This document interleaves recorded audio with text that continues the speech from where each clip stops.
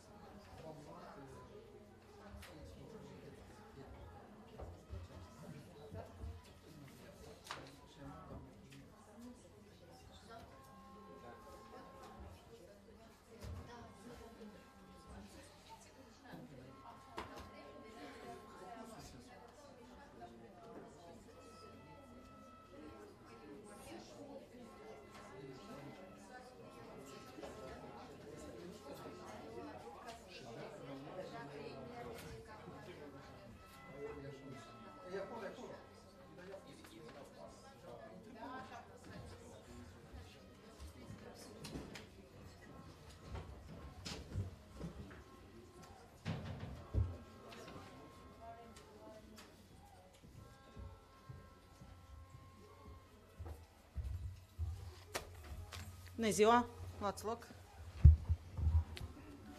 Colegi, în primul rând vreau să-i urez un bun venit domnului Vladimir Bolea, uh, care a preluat funcția de ministru al agriculturii și este prima ședință de guvern la care uh, participă dumnealui. Uh, noi toți îl cunoaștem bine. Am votat multe inițiative legislative și avize la aceste inițiative legislative care veneau de la domnul Bolea din Parlament și sunt sigură că putem accelera lucruri pe anumite domenii. Domnul Bolea știu că este un proiect a strategiei de securitate alimentară. Vă rog mult atenția dumneavoastră personală pentru ca să finalizăm un text al strategiei care să reflecte necesitățile reale și prioritățile în domeniul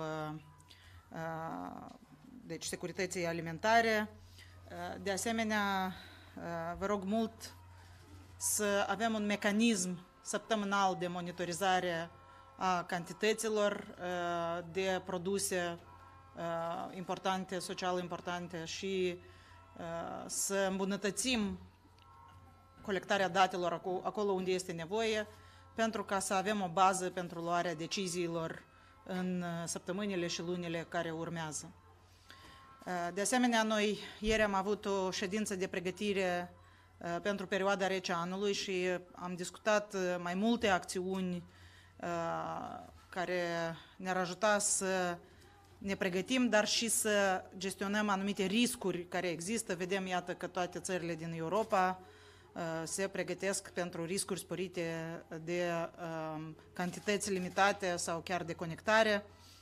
Chiar astăzi, la ședința Comisiei Situații Excepționale, am luat anumite decizii care țin de conectarea instituțiilor publice la aprovizionarea centralizată cu agent termic pentru ca să existe alternativă, dar și pentru că e mai cost eficient. Însă eu vă rog foarte mult să ne concentrăm și pe acțiunile pe care le putem face pentru pregătire. Mă adresez la domnul Borosan. Vă rog mult, știu că am, am avut foarte multe aplicații pentru instalații fotovoltaice și cred că este cazul să mărim capacitățile pentru producerea de energie solară, și vă rog să veniți cu hotărârea de guvern în cât, într-un termen cât mai scurt și să comunicăm despre, cu oamenii, cu cei care au aplicat despre planurile noastre, pentru că înțeleg că în zilele următoare urmează o ședință a Agenției Naționale de Reglementare în Energetică și trebuie să fie această comunicare și înainte de ședință, ca să existe predictibilitate. În același timp, trebuie să pornim și licitațiile și vă rog să accelerăm acest lucru, pentru că sunt investitori care vor să investească.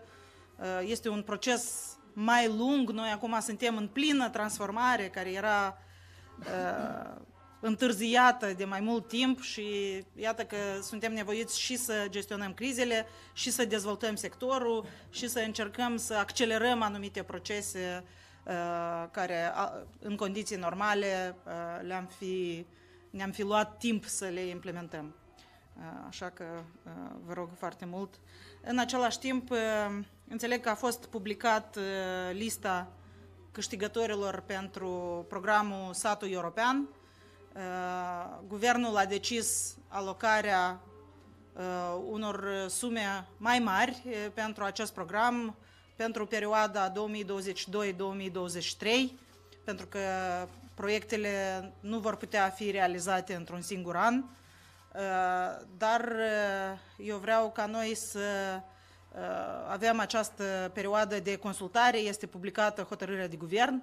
Eu deja am anumite semnale că decizia despre alocarea unui proiect pentru o primărie, este, anumite primării prioritizează alte proiecte decât au fost priori, prioritizate. Eu cred că trebuie să examinați acolo unde primăria se califică cu două proiecte și primăria solicită să fie un proiect sau altul prioritizat. Eu cred că trebuie de prioritizat dorințele primarilor și a locuitorilor comunităților care au depus proiectul. Și vă rog să avem o comunicare foarte bună pe această temă, pentru că sunt multe proiecte, ele sunt proiecte importante pentru cetățeni la nivel local și este important ca fiecare să știe care sunt aceste investiții locale pe care le vom face în perioada următoare.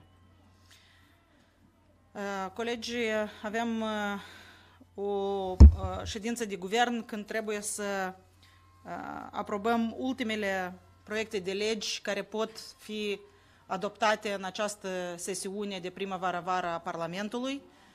De aceea este o agendă plină de conținut și vă rog să vedem dacă sunt propuneri pentru ordinea de zi. Doamna Vlah a fost prima cu mâna ridicată. Mulțumesc, bună ziua! Коллеги, госпожа премьер-министр, я предлагаю 15 вопрос с повестки дня вывести, касающийся вузов страны, которые, которых хотят объединить, и предложить министру образования вернуться к обсуждению этого вопроса с теми вузами, которые попадают под объединение либо под сокращение. С моей точки зрения, этот процесс был достаточно нетранспарентным, и мы все вместе через средства массовой информации получали очень много обращений в отношении того, чтобы эти вузы не были объединены, чтобы они были сохранены. И я понимаю, что, вернее, я даже не могу понять, какова была коммуникация между Министерством образования и этими вузами, если действительно была такая необходимость сократить, почему людям нормально не объяснили и не было представлена публично вся эта концепция. Вот мы сейчас и на улице слышим обращения людей. Я думаю, что это решение поспешно, и давайте мы снимем этот вопрос и вернемся к нему в другом, с другим содержанием, с другим концептом позже. Domnul Topală, vă rog să ne spuneți care a fost procesul de consultare, dacă ați discutat cu universitățile, care au fost modificările, dacă au fost unele făcute în conceptul inițial după această perioadă de consultări și să, să ne spuneți dacă credeți că este cazul să mai întârziem cu această hotărâre de guvern. Da, stimată doamnă prim-ministru, proiectul de hotărâre de guvern a fost avizat în conformitate cu legislația în vigoare.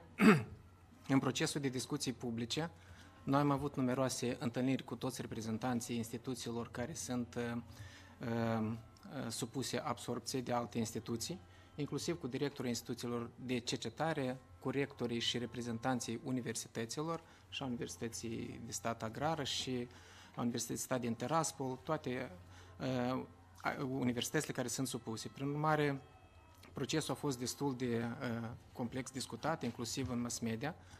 Uh, proiectul care a fost propus de Ministerul Educației și Cercetării a suferit și unele modificări în urma consultărilor. Dacă comparăm primul proiect și proiectul care va fi votat astăzi, o să vedem câteva modificări. Pot să le precizez acum dacă este necesar, dar sunt diferențe. De aceea, toate propunerile care au fost în procesul de avizare, ele au fost pertinente, au fost luate în considerație și au fost introduse în proiect. Și consider important ca să aprobăm acest proiect acum ca să putem desfășura admiterea și alte proceduri. Iar discuțiile au fost cu toți reprezentanții acestor instituții care sunt absorbite. Am înțeles. Alte opinii pe acest subiect? Um, propun să pun votului fiecare propunere, vor fi mai multe pentru agenda. Cine este pentru a susține propunerea doamnei Vlah de retragere a punctului 15 de pe ordine de zi. Nu a întrunit numărul suficient de voturi. Alte propuneri pentru ordine de zi, domnul Litvinenko? Mulțumesc, stimată doamnă prim-ministru, stimați colegi, propun introducerea în agenda ședinței Guvernului a unui proiect, proiect de lege pentru modificarea unor acte normative. Este vorba de legea cu privire la administratorii autorizați și codul de executare. Este un proiect care ține de responsabilizarea profesiei de administratori autorizați. autorizați. Proiectul a fost uh, elaborat de Ministerul Justiției, a fost consultat, coordonat cu toate autoritățile publice interesate, a fost uh, expertizat sub aspectul coruptibilității de Centrul Național Anticorupție și din, uh, luând în considerație toate aceste elemente, propun introducerea acestui uh, proiect în ordine de zi a ședinței Guvernului. Mulțumesc! Uh, Domnul Litvinenko, eu înțeleg că este pe ultima variantă a agendei. Uh, Cancelaria, vă rog să confirmați dacă este. Este deja, da? Nu este nevoie să supun votului. Mhm. Mulțumesc! Mulțumesc. Domnul Borsan, vă rog. Stimată doamnă prim-ministru, stimați membri ai Guvernului, uh, tocmai a fost menționat despre pregătirea țării noastre de sezonul de încălzire toamnă-iarnă și în uh, acest context un proiect conex efectuării stocurilor strategice de gaze naturale uh, prin întreprinderea statului Energocom vizează uh, uh, deci, scutirea întreprinderii de plata taxelor. În acest context propunem includerea pe ordine de zi a ședinței Guvernului proiectul de lege privind uh, acordarea facilităților fiscale și vamale la importul și livrările de uh, gaze naturale destinate implementării proiectului Securitatea furnizării gazelor naturale de către Energocom, precum și uh, eliberarea de obligația de a rambursa împrumutul, dat fiind faptul că întreprinderea este cu activitate de furnizare și fără active. Am înțeles. Întrebări de la membrii Guvernului? Deci este vorba despre scutiri exclusiv în contextul proiectului Băncii Europene de Reconstrucție și Dezvoltare, pe care l-am uh, votat uh, uh, recent. Dacă nu sunt alte întrebări, uh, atunci supun votului includerea în ordinea de zi. Uh, pro- Deci propunerea domnului Borosan, cine este pentru? Aprobat. Uh, Domnul Borosan, continuați. Stimată doamnă prim-ministru, stimați membri ai Guvernului, de asemenea, suplimentar propunem excluderea din agenda ordinii de zi a proiectului hotărârii Guvernului privind modificarea Planului Național de Acțiuni pentru atenuarea crizei energetice, numărul 18 în ordine de zi. Este o, uh, propunem uh, Transferarea. transferarea pe uh, următoarea ședință a ordinii de zi, dat fiind faptul că uh, aprobarea acestui plan uh, din punct de vedere tehnic urmează să aibă loc după uh, încheierea acordului de finanțare între țara noastră și Uniunea Europeană, care iarăși sunt conexe cu, aceste, cu acest plan. Deci am primit informație uh, din uh, partea Uniunii Europene. Noi astăzi vom vota uh, semnarea acordului uh, pentru asistență nerambursabilă uh, și uh, acest plan uh, este o parte care trebuie să urmeze semnării acordului. Uh, Și de, de aceea noi îl avem gata, asta este o veste foarte bună. Uh, Toate procedurile au fost trecute uh, și ca și în cazul asistenței macrofinanciare, de fapt stăm cu documentele pregătite ca atunci când vor fi semnate, imediat uh, să le votăm și să uh, începem implementarea lor. Uh, Cine este pentru susținerea propunerii domnului Borosan? Uh, Exclus din ordinea de zi. Uh, Domnul Spătaru? Stimată doamnă prim-ministru, stimați colegi, propun includerea pe ordinea de zi a ședinței de astăzi a proiectului de lege privind fondul de reducere a vulnerabilității energetice. Acest proiect de lege este prima etapă în implementarea mecanismului de subvenționare a, a consumatorilor vulnerabili și de compensarea costurilor la a, resursele energetice. Um, proiectul a fost uh, consultat cu Secretariatul Comunității Energetice Europene, cu experți ai Programului Națiunilor Unite pentru Dezvoltare, a fost uh, consultat cu um, toate ministerele interesate, am primit foarte multe sugestii. Este un uh, uh, proiect de lege uh, destul de amplu și ambițios, dar foarte necesar acum în contextul uh, pregătirii pentru perioada rece anului uh, și în contextul scumpirilor la resursele energetice, pentru ca guvernul să poată interveni eficient, este important să fie votat uh, acea, uh, această lege, să fie votată în această sesiune uh, parlamentară, de aceea um, aș uh, sugera să fie inclus astăzi. Um, De asemenea, vreau să anunț că așteptăm uh, avizul CNA, care trebuie să vină foarte rapid.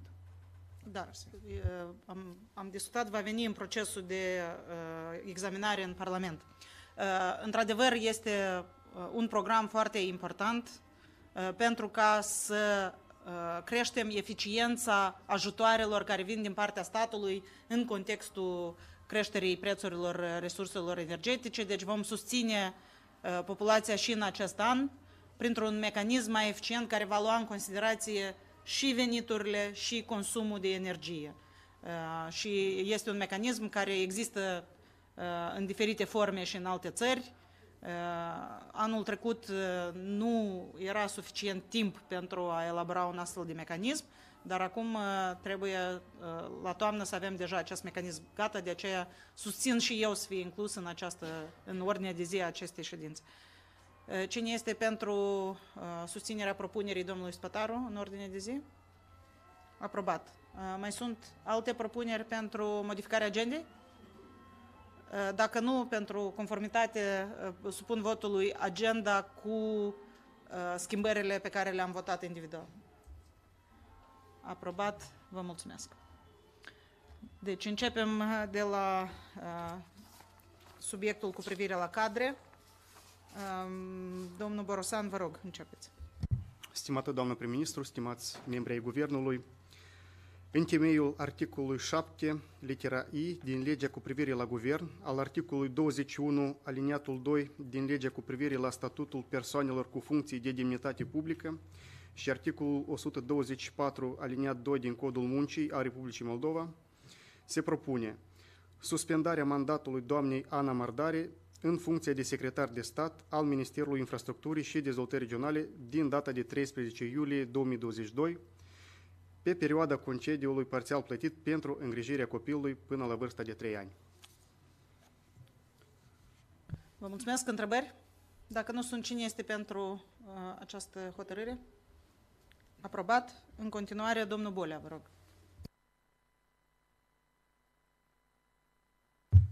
În temeiul articolului 7 litera I din legea numărul 136 din 2017 cu privire la guvern uh, și al articolului 65 din legea numărul 158 din 2008 cu privire la funcția publică și statutul funcționarului public se propune încetarea raporturilor de servicii ale domnului Anatole Fala în funcția de secretar general al Ministerului Agriculturii și Industriei Alimentare din data de 13 iulie 2022 în baza cererii de demisie. Vă mulțumesc. Întrebări? Dacă nu sunt, cine este pentru susținerea acestei hotărâri? Aprobat. În continuare, domnul Udrea, vă rog. Stimată doamnă prim-ministru, stimați colegi, în scopul executării deciziei Curții de Apel uh, Chișinău, menținută prin încheierea Curții Supreme de Justiție din 11 mai 2022 și în temeiul articolelor 250 și 251 din Codul Administrativ al Republicii Moldova numărul 116 din 2018 se propune anularea dispoziției Guvernului numărul 41 Cratimă D din 2020 cu privire la restabilirea în funcție a domnului Eduard Vecvert.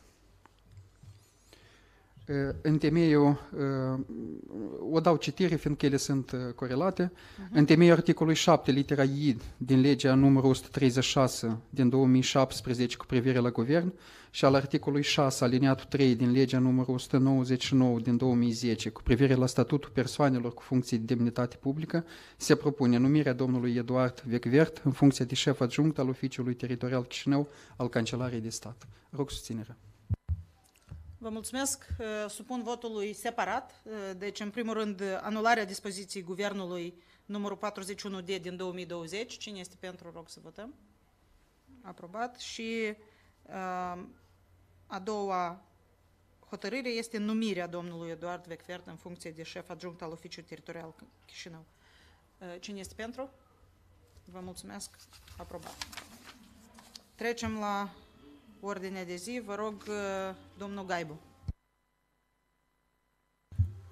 Da, mulțumesc, uh, stimată doamnă prim-ministru, stimați colegi, prezint atenție dumneavoastră proiectul hotărârii Guvernului pentru aprobarea proiectului de lege privind prevenirea pierderii și risipii alimentare. Proiectul de lege are drept scop asigurarea tranziției către economia circulară prin menținerea în limite legale a alimentelor în circuitul consumului și evitarea formării deșeurilor alimentare, precum și prin diminuarea cheltuielilor aferente pierderii și risipii alimentare, prin încurajarea redistribuirii surplusului de produse alimentare, în special a celor pentru care în curând urmează să expire termenul de valabilitate. Măsuri de responsabilizare se iau de operatorii din domeniul alimentar pe tot lanțul alimentar, inclusiv în sectorul alimentației publice. Conform prevederilor proiectului, operatorii din domeniul alimentar întreprind următoarele măsuri de prevenire a pierderii și risipii alimentare și suportă cheltuielile necesare aferente. Vânzare promoțională sau la un preț redus a alimentelor. Transferul alimentelor prin donații către organizațiile beneficiare. Aici va urma și o suplinire a politicii fiscale pentru a uh, permite agenților economici să deducă aceste cheltuieli sau aceste pierderi din, uh, cheltui, din uh, suportate de ei.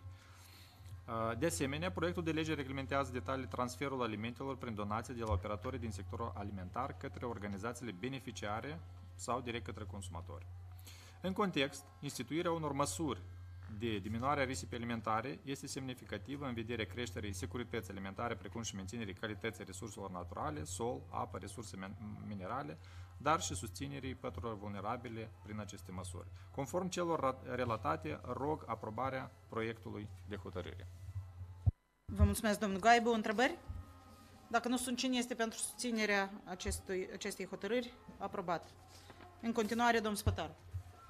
Stimată doamnă prim-ministru, stimați colegi, prezint atenție dumneavoastră proiectul hotărârii Guvernului cu privire la aprobarea proiectului de lege pentru modificarea unor acte normative, scopul căruia este, în primul rând, unificarea salariului minim pe țară.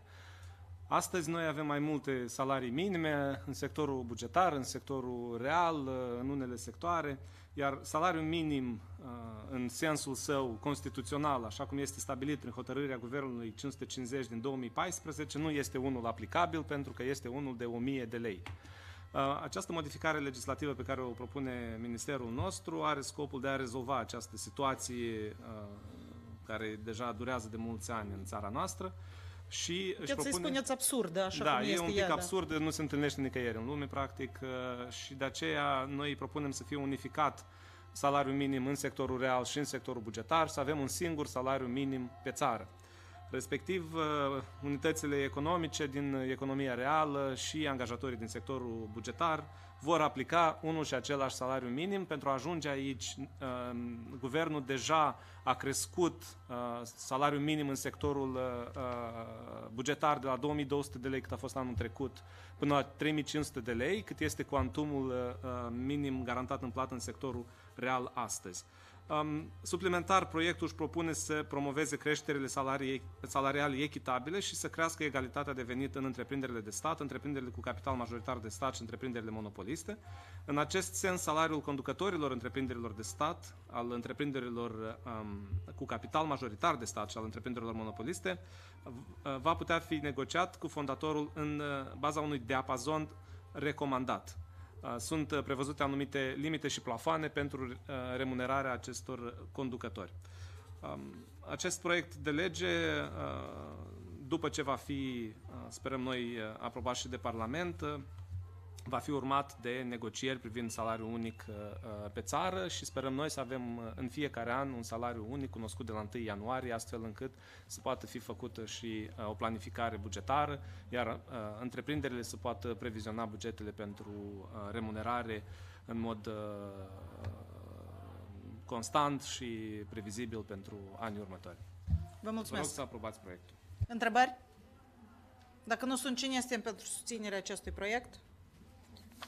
Aprobat, vă mulțumesc. În continuare, domnul Litvinenko. Vă mulțumesc, stimată doamnă prim-ministru, stimați colegi. Prezint atenție dumneavoastră proiectul de modificare a legii cu privire la asigurarea egalității și altor acte normative, care are drept scop lichidarea deficiențelor cadrului normativ și îmbunătățirea mecanismelor de protecție împotriva discriminării. Astfel, prezentul proiect urmărește consolidarea instituțională a Consiliului pentru Egalitate prin majorarea statelor de personal cu încă 13 unități, având în vedere numărul tot mai mare de plângeri depuse. De asemenea, proiectul prevede îmbunătățirea modului de examinare a plângerilor depuse, frecvența ședințelor și extinderea termenului de examinare a cauzelor complexe, care ar permite examinarea multiaspectuală a acestora, dar și posibilitatea depunerii opiniilor juridice în instanțele de judecată pe cauzele de discriminare.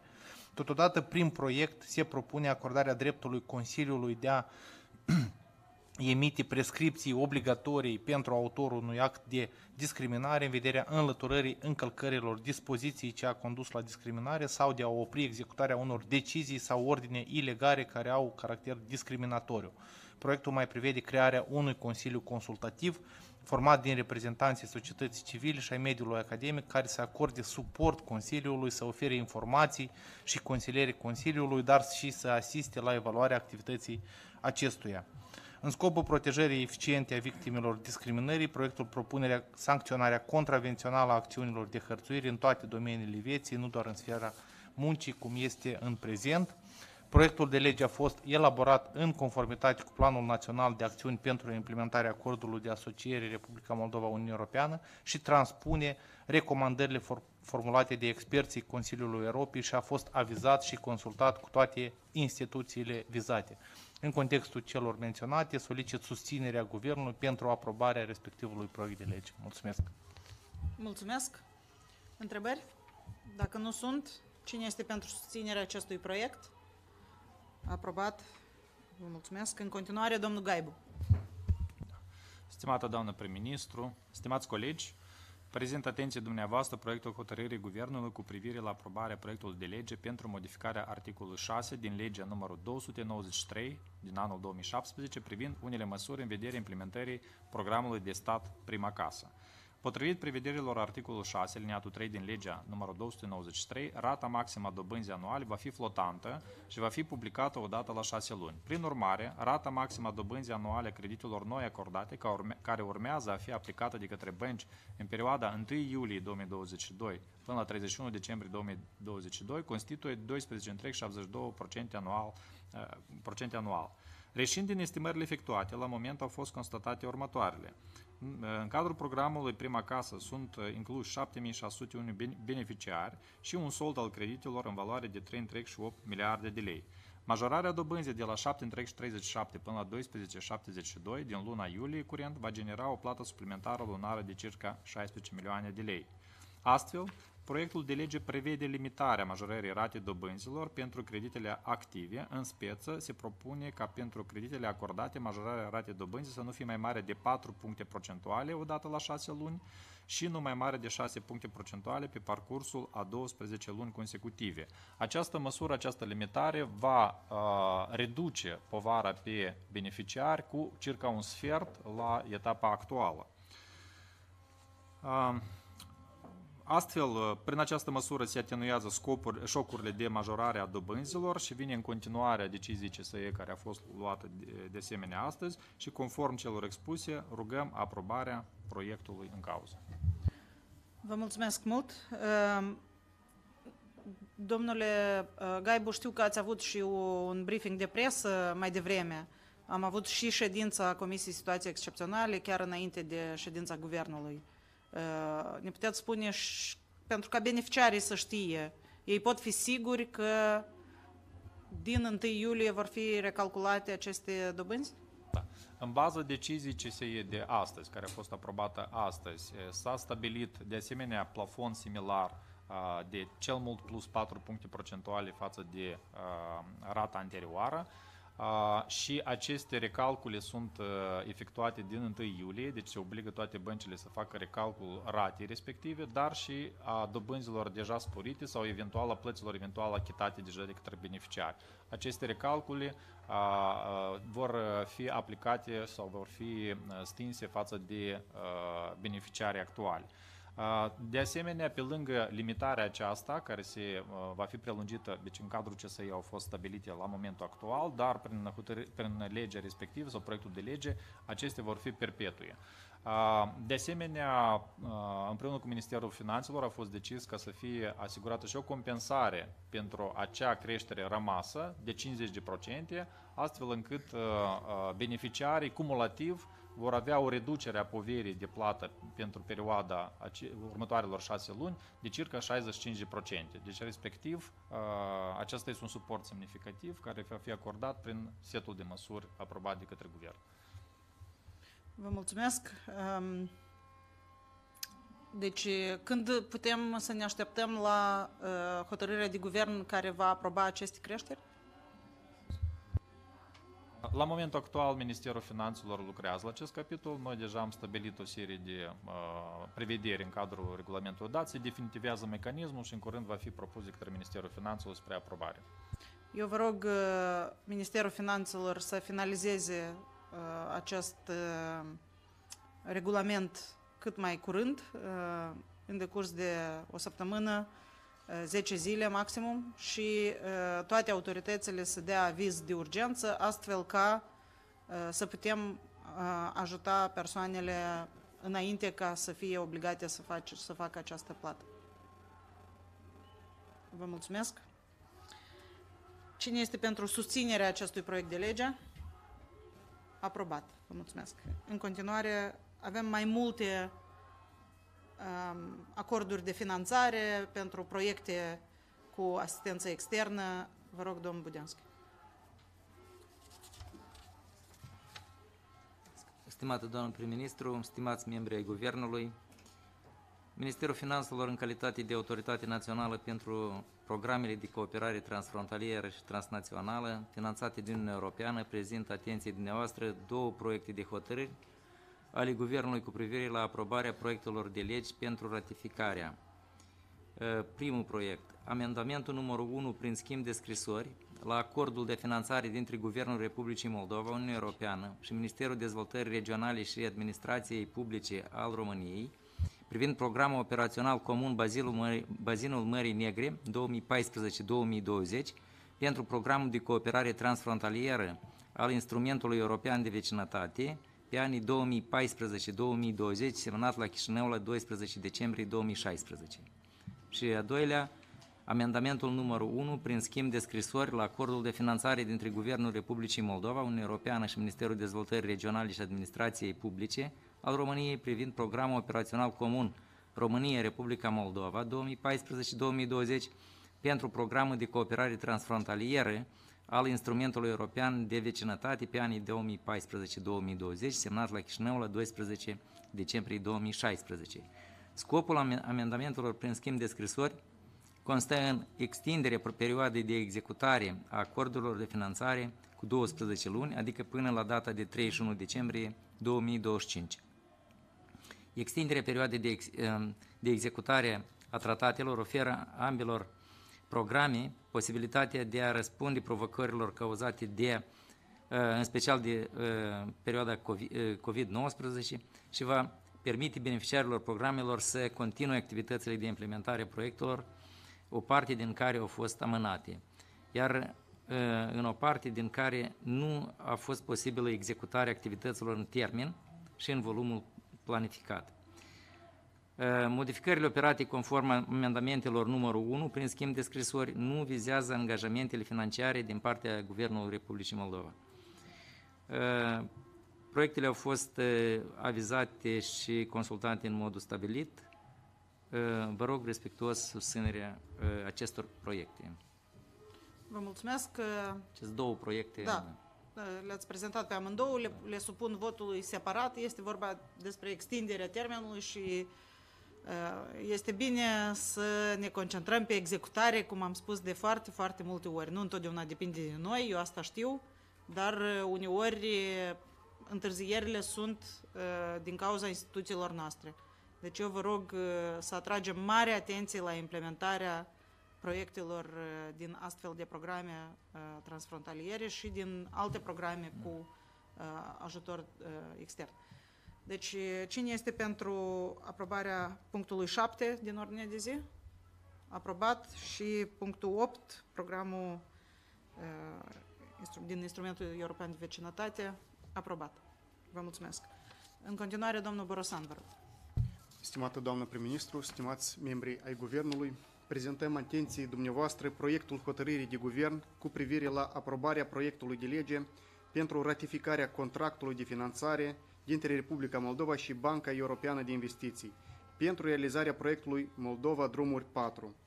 Proiectul a fost elaborat în temeiul articolului 3 din legea 419 pe 2006 cu privire la datoria sectorului public, garanțiile de stat și recreditarea de stat și privire, îndeplinirea procedurilor interne necesare pentru intrarea în vigoare a contractului de finanțare și anume aprobarea proiectului de lege pentru ratificarea contractului. Prin hotărârea Guvernului 419 din 2021 a fost aprobată semnarea contractului de finanțare dintre Republica Moldova și Banca Europeană de Investiții pentru realizarea proiectului Moldova Drumuri 4, acesta fiind semnat la 29 martie la Luxemburg și 31 martie 2022 la Chișinău. Prin urmare, contractul de finanțare are drept scop crearea cadrului necesar reabilitării drumurilor naționale incluse în rețeaua transeuropeană de transport, prin contractarea unui împrumut în valoare totală de 150 milioane euro, ceea ce reprezintă o cofinanțare în cuantum de 50% a proiectului Moldova Drumuri 4, care este o continuare logică a proiectelor anterioare, inclusiv în proiectul de susținere a programului în sectorul drumurilor implementat cu suportul instituțiilor financiare internaționale. A doua parte a sumei va fi negociată cu Banca Europeană pentru Reconstrucție și Dezvoltare. Conform contractului, banca va oferi împrumutatului sumele nedebursate din creditul acordat în vederea realizării proiectelor de reabilitare, modernizare și construcția drumurilor naționale, care include și servicii de consultanță în supervizarea lucrărilor și implementarea proiectului. Pe parcursul duratei de execuție a lucrărilor, a perioadei de notificare a defecțiunilor și a perioadei de prestare a serviciilor de consultanță. Împrumut, împrumutul va fi acordat în condiții concesionale, preferențiale, la o rată fixă de până la 1% sau o rată flotantă dependentă de rata Euribor. În prima secțiune a proiectului Moldova Drumuri 4 este prevăzută lansarea lucrărilor de reabilitare, modernizare și extindere a următoarelor sectoare de drumuri.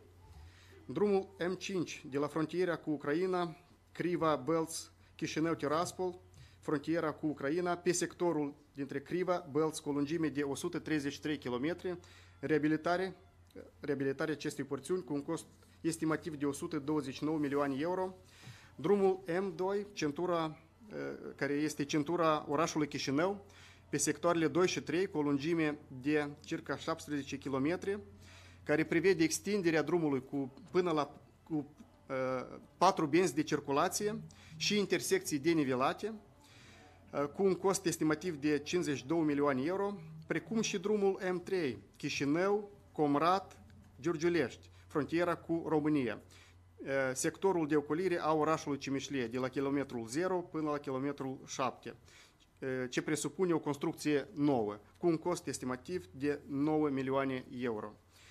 Subsecvent, comunicăm că pentru sectoarele de drumuri M5, Belts, uh, sector Belts-Redeni, între kilometrul 133 și 189, construcția sectorului lipsă între drumul național R1 și M5, pentru completarea rețelei de drumuri naționale incluse în rețeaua transeuropeană de transport, drumul M5, sectorul Redeni-Chișinău, kilometrul, între kilometrul 189 și 285, pentru drumul M5, sectorul Budești, până la frontiera cu Ucraina, cu o lungime de 85 de km.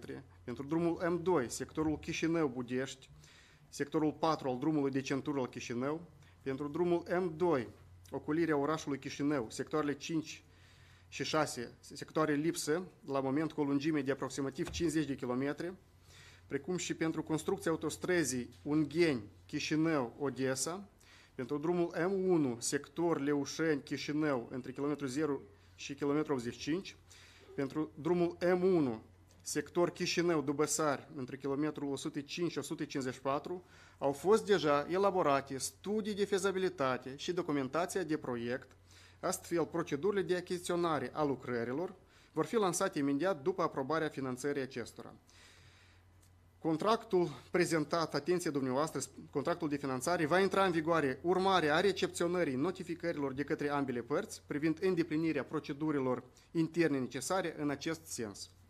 În concluzie, ținând cont de importanța și necesitatea pentru Republica Moldova a continuării realizării lucrărilor de reabilitare a rețelei de drumuri naționale și a construcției drumurilor de ocolire a unor localități, Considerăm judicioasă ratificarea contractului de finanțare dintre Republica Moldova și Banca Europeană de Investiții pentru realizarea proiectului Moldova Drumuri 4. În temeiul celor expuse, solicităm respectuos suportul Guvernului pentru aprobarea proiectului în cauză. Vă mulțumesc, domnul Borosan. Vreau să reiterez mesajul despre executare Uh, Este foarte important să ne mișcăm și cu uh, finanțarea pe care o avem și aici când uh, ratificăm o finanțare nouă să se meargă repede pentru că uh, avem uh, de fapt uh, resurse pentru aceste reparații, dar din păcate ele merg foarte anevoios și trece foarte mult timp până noi vedem rezultatele. În acest caz, când se pot aștepta oamenii la începutul lucrărilor și finalizarea? Stimată doamnă prim-ministru, considerăm că odată ce uh, legea de ratificare este votată în Parlament și uh, se îndeplinesc procedurile de notificare, uh, deci de acordul devine efectiv, uh, începând cu aceasta pot fi inițiate achizițiile pentru, uh, pentru uh, uh, identificarea uh, uh, antreprenorului pentru executarea acestor lucrări. Deci, noi credem că în anul acesta va, se va putea începe. Uh, Eu știu că s-au activizat, activizat lucrările uh, și uh, este o mai bună executare pe uh, proiectul, de exemplu, a Băncii Mondiale pe drumuri locale și uh, pe alte proiecte BERD, dar uh, executarea era atât de slabă că trebuie să accelerăm și mai mult ca să ne asigurăm uh, că livrăm aceste drumuri mai calitative într-un timp util. Domn Budeanschi, aveți ceva de completat aici? Noi am discutat de mai multe ori despre importanța executării bugetului. Eu uh, vreau să reiterăm acest mesaj pentru toți. Uh, Principalul obiectiv al Ministerului Finanțelor este să uh, fortifice capacitatea de monitorizare a execuției tuturor proiectelor, inclusiv cele din resurse externe. Și sper să avem rezultate mai bune. Mulțumesc. Cine este pentru susținerea acestui proiect? Aprobat. Vă mulțumesc și spor. Uh, În continuare, domnul Budeanscu.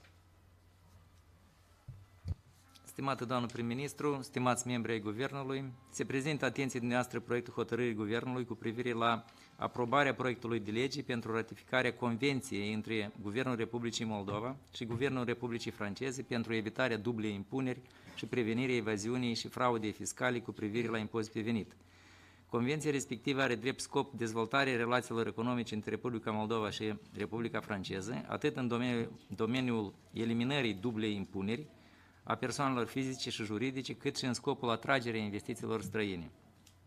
Importanța Convenției constă în crearea unor sisteme fiscale care ar coordona acțiunile statelor contractante, îndreptate asupra evitării dublei impuneri, eliminării discriminării fiscale sub orice formă, asigurării schimbului de informații, fapt care va crea condiții favorabile de efectuare a activității economice externe și de consolidare a relațiilor economice. Convenția va intra în vigoare în prima zi după ultima notificare prin care va fi anunțată îndeplinirea procedurilor interne necesare pentru intrarea în vigoare a acesteia și va rămâne în vigoare pe termen nelimitat. Implementarea convenției nu necesită resurse financiare suplimentare. În contextul celor expuse, rog susținerea proiectului. Vă mulțumesc. Întrebări? Dacă nu sunt, cine este pentru susținerea acestei hotărâri? Vă mulțumesc să fie de bun augur pentru investițiile franceze. În continuare, domnul Gaibu, vă rog. Stimată doamnă prim-ministru, stimați colegi, uh, rog permisiunea de a prezenta împreună următoarele proiecte. Proiectul hotărârii Guvernului cu privire la aprobarea proiectului de lege pentru ratificarea acordului de împrumut dintre Republica Moldova și Banca Internațională pentru Reconstrucție și Dezvoltare pentru realizarea proiectului de competitivitate a întreprinderilor micro, mici și mijlocii și proiectul hotărârii Guvernului cu privire la aprobarea proiectului de lege pentru ratificarea acordului de finanțare dintre Republica Moldova și Asociația Internațională pentru Dezvoltare pentru realizarea proiectului de competitivitate a întreprinderilor micro, mici și mijlocii. Deci sunt doi finanțatori la același program. Ambele acorduri au fost semnate de către Ministrul Economiei în numele Guvernului la 7 iulie 2022 și au drept, drept scop realizarea proiectului de competitivitate a întreprinderilor micro, mici și mijlocii. Finanțarea pentru proiectul dat a fost solicitată de către Guvernul Republicii Moldova în anul 2021 ca urmare a discuțiilor în cadrul misiunilor de monitorizare și suport la implementarea proiectului de ameliorare a competitivității 2. Acordul cu BIRD și AID stabilesc condițiile, scopurile și termenele de finanțare pentru proiectul IMMM care reprezintă un proiect investițional în valoare totală de 47,5 milioane euro, din care sursa BIR constituie 17,7 milioane euro, restul fiind acoperit de acordul de finanțare cu AID pentru proiectul respectiv. Termenele de implementare a proiectelor este de 5 ani, se preconizează um, furnizarea de resurse financiare pe perioada septembrie 2022-august 2027. Proiectul dat are drept scop susținerea în continuare a Guvernului în sporirea competitivității la export a întreprinderilor din Moldova și reducerea constrângerilor și a poverii cadrului de reglementare asupra mediului de afaceri. Obiectivul general va fi realizat pentru un set de activități, printre care digitizarea serviciilor publice pentru mediul de afaceri și a controalelor de stat, eficientizarea actelor permisive și îmbunătățirea infrastructurii naționale de calitate pentru a reduce costurile de reglementare cu care se confruntă întreprinderile, facilitarea accesului la finanțare pentru întreprinderi prin garanții la împrumuturi și sporirea capacității fondului de garantare a creditelor, la capitolul acesta vor fi alocate direct 15 milioane de dolari, vor fi suplinit fondul de garantare și respectiv capacitatea de garantare a, a organizației a, pentru ca agenții economici să poată accesa mai facil credite din sistemul bancar sprijinirea dezvoltării întreprinderilor mici și mijlocii și sporirea competitivității la export. Iarăși aici vor fi și program pentru susținerea prin grant a întreprinderilor, cât și o componentă de susținere a exporturilor diferitor evenimente pentru promovarea producției locale. În contextul celor relatate și având în vedere importanța acestei finanțări pentru Republica Moldova în condițiile actuale de criză, rog aprobarea proiectelor de hotărâri. Vă mulțumesc. O altă asistență importantă, fondul de garantare a fost, deci regulile de accesare a fondului de garantare a fost, au fost modificate și acum vedem o creștere a interesului, interesului agenților economici pentru fondul de garantare, inclusiv am impresia că sunt vreo 40% din domeniul agricol, corect? Și este un instrument foarte important pentru accesarea lichidităților. De aceea e bine că va fi suplinit și din aceste resurse. Cine supun votului inițial acordul cu BIRD? Cine este pentru? Rog să votăm. Și uh, supun votului și a doua uh, decizie, acord, acordul cu AID. Deci ambele sunt părți ale Băncii Mondiale. Cine este pentru? Aprobat. În continuare, doamna Cantaragiu. Stimată doamnă prim-ministru, stimați colegi, prezint atenției dumneavoastră proiectul hotărârii Guvernului cu privire la aprobarea proiectului legii privind modificarea unor acte normative. Proiectul legii este elaborat în scopul armonizării legislației naționale la Directiva 92-43-CE privind conservarea habitatelor naturale și a speciilor de floră și faună sălbatică. Proiectul prevede crearea rețelei Emerald, care este echivalentul rețelei Natura 2000 pe teritoriul țărilor non-UE, prezintă un instrument util pentru conservarea arelor de mare valoare ecologică și creează baza de cooperare în cadrul unei rețele omogene de teritorii care acoperă toată Europa. Astfel, după finalizarea a două faze a procesului de creare a rețelei Emerald, Republica Moldova se află la etapa a treia, care prevede desemnarea la nivel național a siturilor Emerald adoptate de Secretariatul Convenției de la Berna. Siturile Emerald selectate urmează să asigure conservarea și mai cu seamă inversarea tendinței negative a stării de conservare a 154 specii de plante și animale și 38 de habitate protejate la nivel european, care se regăsesc pe teritoriul Republicii Moldova. Proiectul de lege prevede completarea legii numărul 94 uh, din 2007 cu privire la rețeaua ecologică cu lista de specii de floră și faună sălbatică, lista habitatelor și lista siturilor care urmează să asigure suficiența conservării lor. Proiectul prevede crearea unui registru național al rețelei Emerald, stabilirea sistemului de monitorizare și procesul de raportare a stării de conservare a speciilor și habitatelor incluse în rețeaua Emerald, obligativitatea elaborării de planuri de management a rețelei Emerald, care vor oferi planuri de acțiune clare pentru conservarea și monitorizarea fiecărei specii de floră și faună și habitate naturale.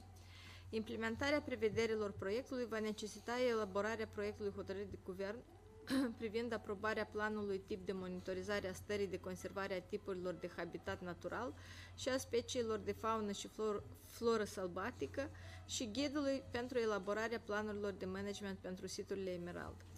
Concomitent, proiectul legii prevede completarea prevederilor expuse în anexele 4 și 6 al legii numărul 86 din 2014 privind evaluarea impactului asupra mediului, cu referință la rețeaua Emerald, în scopul asigurării evaluării biodiversității în cazul unor eventuale activități planificate care pot avea un impact semnificativ asupra siturilor Emerald.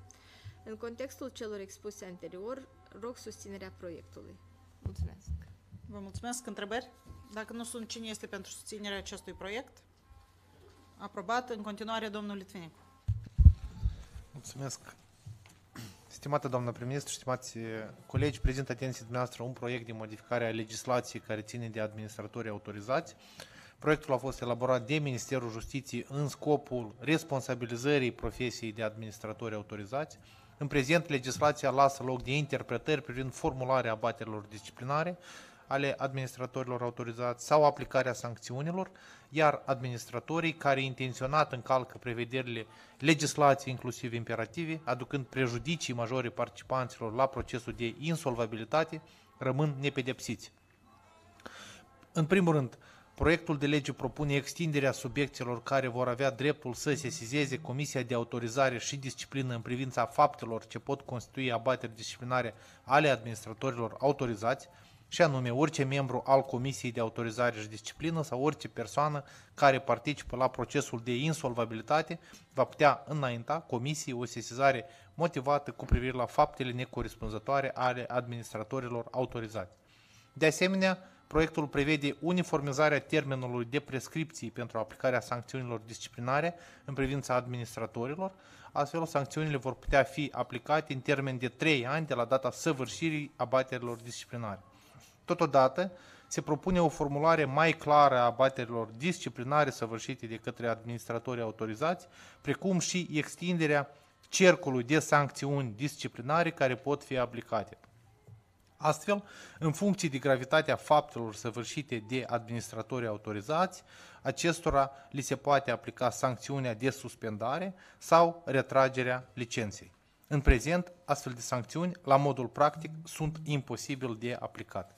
O altă prevedere se referă la atribuirea către Comisia de Autorizare și Disciplină a competenței de constatare și sancționare a încălcărilor normelor deontologice comise de către administratorii autorizați. Vreau să reiterez că acest proiect de lege este, din punctul meu de vedere, foarte important. Uh, urmărește scopul de a preveni și a sancționa abuzurile admise de către unii administratori autorizați, ori avem nenumărate cazuri când unii administratori autorizați în mod intenționat încalcă legea, prejudicind economia, bugetul de stat și încălcând drepturile cetățenilor.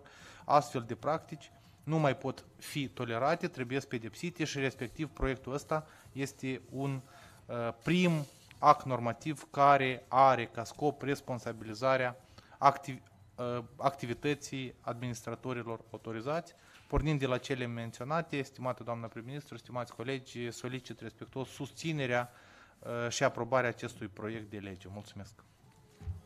Sunt și eu de acord că este un uh, proiect uh, foarte important. Avem mai multe abuzuri comise în contextul și în procesul de administrare a insolvabilității unor întreprinderi și, într-adevăr, este un prim proiect, dar trebuie să muncim ca să ne asigurăm că interesul administratorilor este să îmbunătățească performanța uh, acestor uh, întreprinderi. Întrebări? Nu sunt? Atunci cine este pentru susținerea acestui proiect? Aprobat. În continuare, domnul Topal. Stimată doamnă prim-ministru, stimați colegi, Eh, prezint atenție dumneavoastră proiectul hotărârii de guvern cu privire la reorganizarea prin fuziune, absorpție a unor instituții din domeniile educației, cercetării și inovării și modificarea unor hotărâri ale guvernului, prin care reconceptualizăm structura și rolul sistemului de învățământ superior și de cercetare din Republica Moldova, Astăzi, practic, punem bazele solide pentru Moldova viitorului și ne asumăm modernizarea sistemului de învățământ superior pentru a oferi o educație mai bună pentru copiii noștri. În esență, această hotărâre a Guvernului pune bazele instituționale ale universităților noastre pentru a fi competitive la nivel internațional și pentru a crește în mod radical calitatea studiilor pe care le oferim studenților noștri, nu în ultimul rând pentru a-i stimula și încuraja să rămână în țară. Dăm un nou sens afirmației populare, ai carte, ai parte.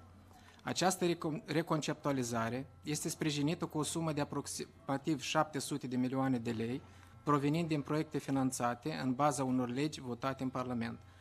Învățământul superior are nevoie de finanțare și acum va primi bani de la acest guvern pentru a fi mai performant. Sistemul de învățământ universitar se bazează pe doi piloni fundamentali, autonomie și răspundere publică, pentru modul și nivelul de pregătire a studenților. Această hotărâre a Guvernului consolidează ambii piloni. Consolidăm autonomia universitară prin sporirea semnificativă a resurselor alocate, pentru că autonomie în sărăcie nu este posibilă. Sporind competența academică prin fuziunea universităților, aducându-i pe studenți mai aproape de cercetare, prin integrarea institutelor de cercetare care își vor păstra structura în universități și asigurând o finanțare semnificativă a acestor domenii, vom avea instituții puternice, stăpâne pe patrimoniul lor material și intelectual. Sporim, sporim șansele universităților noastre de a face față la uriașa responsabilitate pe care o au pentru tinerii noștri, ele fiind mai bine dotate, mai bine conectate la realitățile tehnologiilor moderne, cu profesori și cercetători pe posturi mai stabile și mai bine plătite. Nu am nicio îndoială că tinerii noștri se vor convinge de efectele benefice ale restructurării. Stimată doamnă prim-ministru, am derulat toate procedurile legale de consultare publică, au avut loc numeroase deliberări cu rezultate concrete. Practic am discutat cu toate vocile relevante, am integrat argumentele convingătoare, iar acum trebuie să mergem cu mult curaj înainte. Acest proces deliberativ mi-a permis să trag câteva concluzii și în baza lor să ameliorăm textul inițial propus în dezbaterea publică. Concret, proiectul prevede concentrarea resurselor universitare după cum urmează. Universitatea de Stat de Moldova se reorganizează prin fuziunea cu Academia de Administrație Publică și cu 13 instituții de cercetare conectate la programele de studii superioare de licență, master și doctorat ale USM. Universitatea Tehnică a Moldovei se reorganizează prin fuziunea cu Universitatea Agrară de Stat din Moldova și trei institute de cercetare cu scopul de a consolida sectoarele strategice ale economiei naționale, preponderent inginerie și științe agricole. Universitatea Pedagogică de Stat Ion Creangă din Chișinău se reorganizează prin fuziunea cu Universitatea de Stat din Tiraspol, Institutul de Științe al Educației și Institutul de Formare Continuă, Academia de Studii Economice din Moldova se reorganizează prin fuziunea cu Institutul Național de Cercetări Economice. Calitatea de fondator al Academiei de Muzică, Teatru și Arte Plastice și al Institutului Patrimoniului Cultural se transmite de la Ministerul Educației și Cercetării la Ministerul Culturii. Ministerul Educației și Cercetării, de comun acord cu Ministerul Afacerilor Interne, va înainta Guvernul în termen de șase luni cadrul de reglementare a fuzionării altor două instituții de învățământ superior, Academia Ștefan cel Mare a Ministerului Afacerilor Interne și Instituția Publică Universitatea de Stat de Educație Fizică și Sport. Fiecare instituție publică de cercetare și inovare absorbită își va păstra până la 31 decembrie 2023 structura organizatorică de cercetare autonomă și nivelul de finanțare în limite cheltuielor aprobate pentru fiecare proiect de cercetare și implementare la data de astăzi, inclusiv cea instituțională. Studenții înmatriculați, conform programelor de studii superioare de licență, master sau doctorat de la instituțiile de învățământ superior absorbite vor fi transferați la instituțiile de învățământ care fuzionează la aceleași programe de studii superioare și la aceleași taxe stabilite anterior. Transferul acestora se va face până la 25 august 2022. Reorganizarea și transmiterea bunurilor instituțiilor publice absorbite, precum și transferul personalului salariat și al studenților din aceste instituții se va realiza cu respectarea prevederilor legislației în vigoare. Mulțumesc tuturor autorităților implicate în acest proces de avizare și, și pentru avizele pozitive. Le mulțumesc rectorilor care cu siguranță vor realiza impecabil procesul de integrare a studenților, profesorilor și cercetătorilor, Azi facem un pas curajos pentru Moldova. Stimată doamnă premier, vă mai informez că în acest proces colegii din Ministerul Educației și Cercetării s-au mobilizat exemplar, mai ales în procesul de consultare publică și doresc să le mulțumesc tuturor funcționarilor publici. Ministerul Educației și Cercetării este loial programul de modernizare în educație și am convingerea că vom reuși. Stimată doamnă prim-ministru, stimați colegi, educația are nu doar misiunea de a produce excelență intelectuală și profesională, ci și de a estompa falile din societate și de a crea o comunitate puternică în jurul interesului suprem al tinerilor noștri. Acum mai mult ca niciodată, avem nevoie de modernizare pentru a educa generațiile viitoare de specialiști performanți necesari dezvoltării Republicii Moldova și de aceea invit toate forțele responsabile ale țării alături de efortul de modernizare desfășurat de Guvernul Republicii Moldova. Doresc ca această modernizare să fie semnalul unui nou început pentru universitățile noastre. O educație modernă înseamnă o Moldovă modernă. Aceasta facem astăzi. În contextul celor expuse, rog respectos susținerea aprobării proiectului. Vă mulțumesc. Vă mulțumesc foarte mult, domnul Topală. Am uh, o întrebare. Uh, este posibilă schimbarea denumirii unor uh, instituții care sunt fuzionate? Conform celor scrise de noi în uh, tabelul de divergență, am spus că ulterior acestei fuziuni vor fi examinate uh, posibilitățile de a schimba denumirile unor universități. Vă mulțumesc foarte mult. Știu că aceasta a Dacă- fost o doleanță Da, deci, în uh, procesul de avizare, deci revenim la denumiri uh, ulterior. Eu am, am discutat și cu rectorii, este o procedură prin care trebuie să fie aprobarea Senatului și vor fi inițiate aceste procese de consultare a colectivelor și a Senatului pentru a schimba denumirile, fiindcă înțelegem că uh, este important și acest aspect. Dar ceea ce asigurăm că uh, toți, profe- toți studenții vor avea profesori de calitate în sel și vom desfășura uh, pregătirea cadrelor bine calificate la toate specialitățile necesare economiei naționale. Vă mulțumesc. Vreau să, doamnă prim-ministru, dacă îmi permiți, noi în avizul Ministerului Agriculturii am uh, menționat în mod expres, uh, în mod obligatoriu, noi am și înaintat domnului Topală uh, mențiunea care a fost înaintată de către rectoratul Universității Agrare cu denumirea nouă, care ar fi dorit ca să fie nouă universitate. Asta se va face în procesul ulterior. Doamna Vlah, vă rog. У меня тоже вопрос к господину министру. Как аргумент указывалось на то, что после того, как пройдет эта реформа, будет более качественное образование, и, соответственно, больше молодых людей будет студентами наших вузов? То есть Да, вы не считаете, дурим- что эта дурим. реформа приведет к тому, что наши э, дети, не- и, и это есть причина, почему наши дети не э, уезжали за границу и там получали образование, потому что у нас не было реформы высшего образования или какие-то другие причины были? Просто немножко не, не складывается у меня последовательность ваших аргументов по проведению реформы. Deci dacă o să urmărim uh, uh, clasamentele internaționale, cum sunt poziționate universitățile noastre față de universitățile din Europa, o să vedem că noastre sunt mult mai jos. Prin această reorganizare, noi ne dorim ca universitățile noastre să fie mai bine poziționate în clasamentele internaționale, inclusiv aceasta tot este o componentă din, part, din cauza căreia uh, tinerii aleg să facă studii în altă parte. Ne dorim să facă tinerii noștri studii acasă bi- uh, și studii de calitate. Pentru aceasta vom investi 700 de milioane de lei care sunt pentru dotarea universităților și pentru îmbunătățirea calității programelor de studii și apropierea acestor programe de studii de necesitățile pieții economiei naționale inclusiv.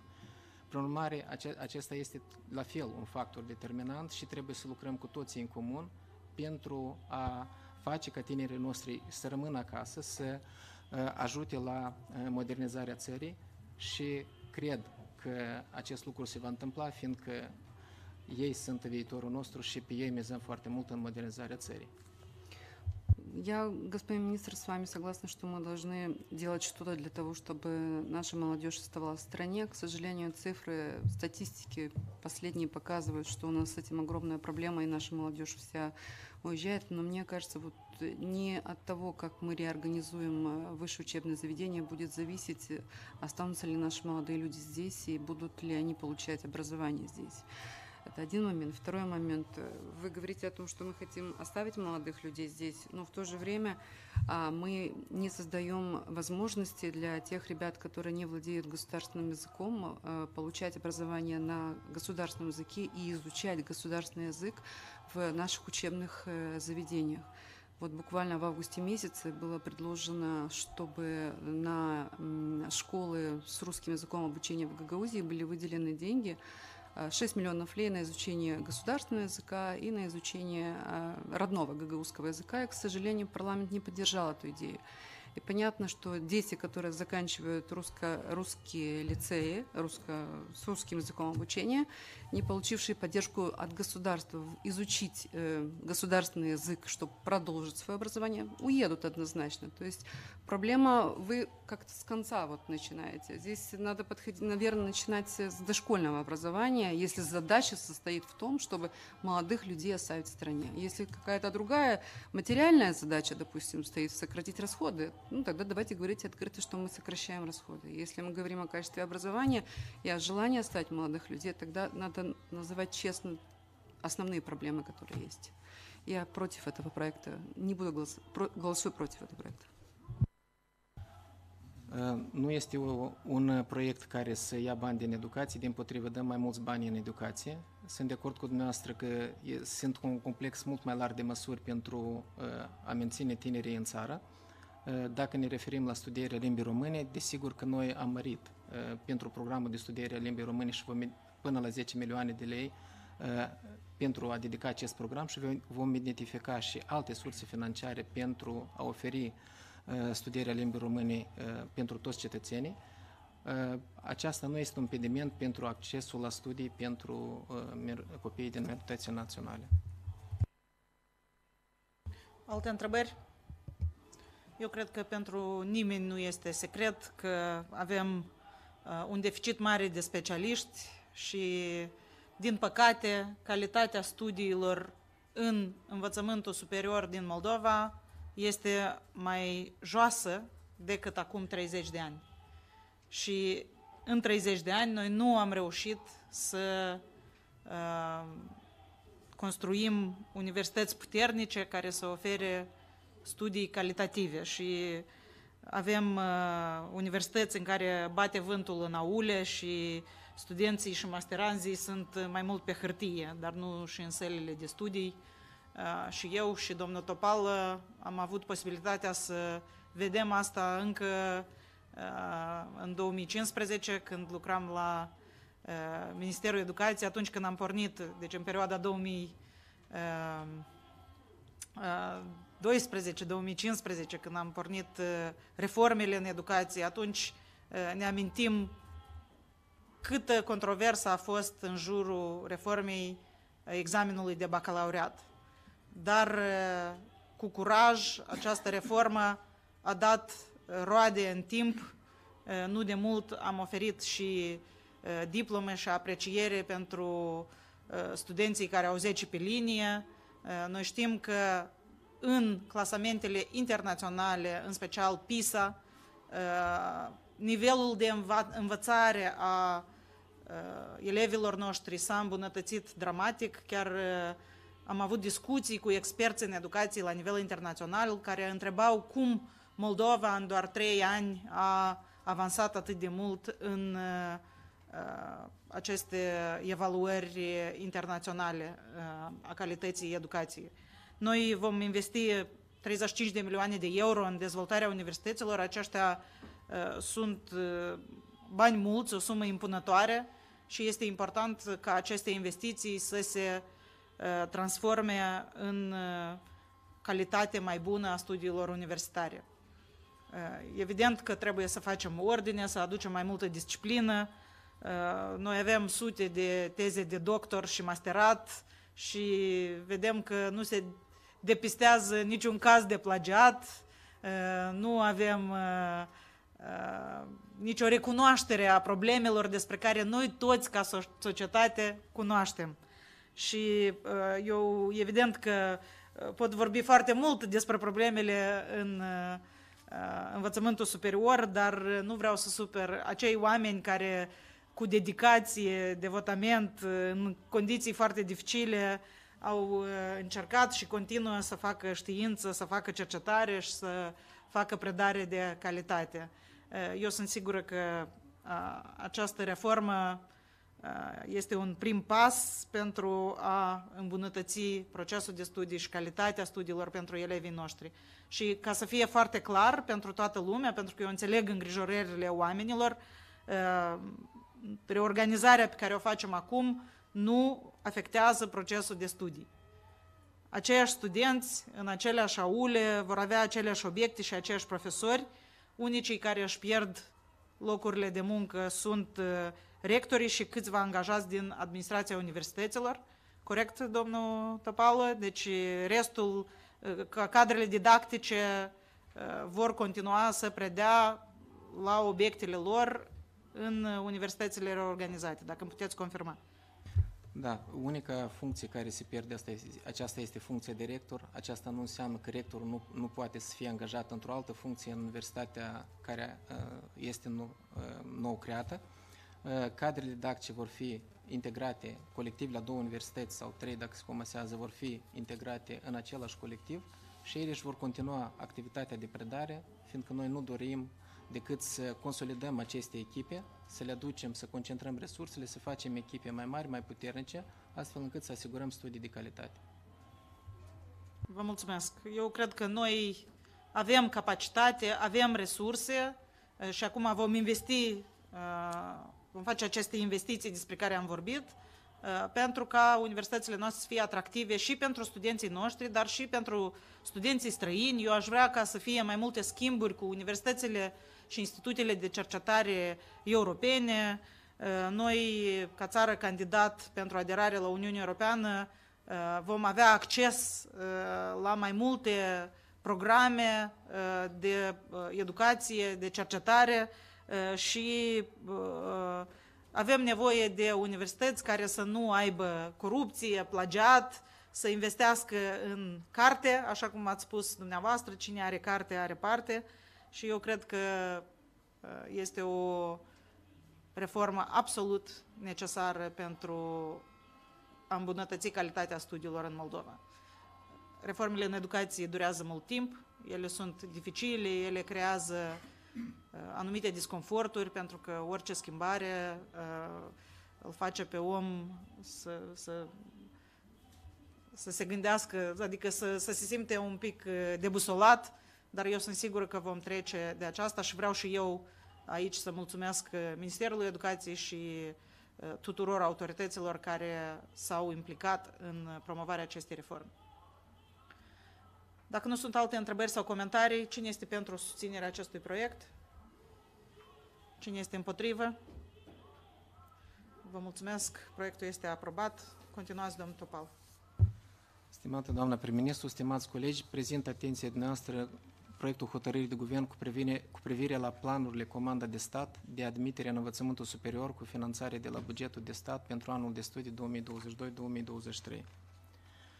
În esență, această hotărâre prevede că pentru admiterea în instituțiile de învățământ superior în acest an vor fi alocate 8.732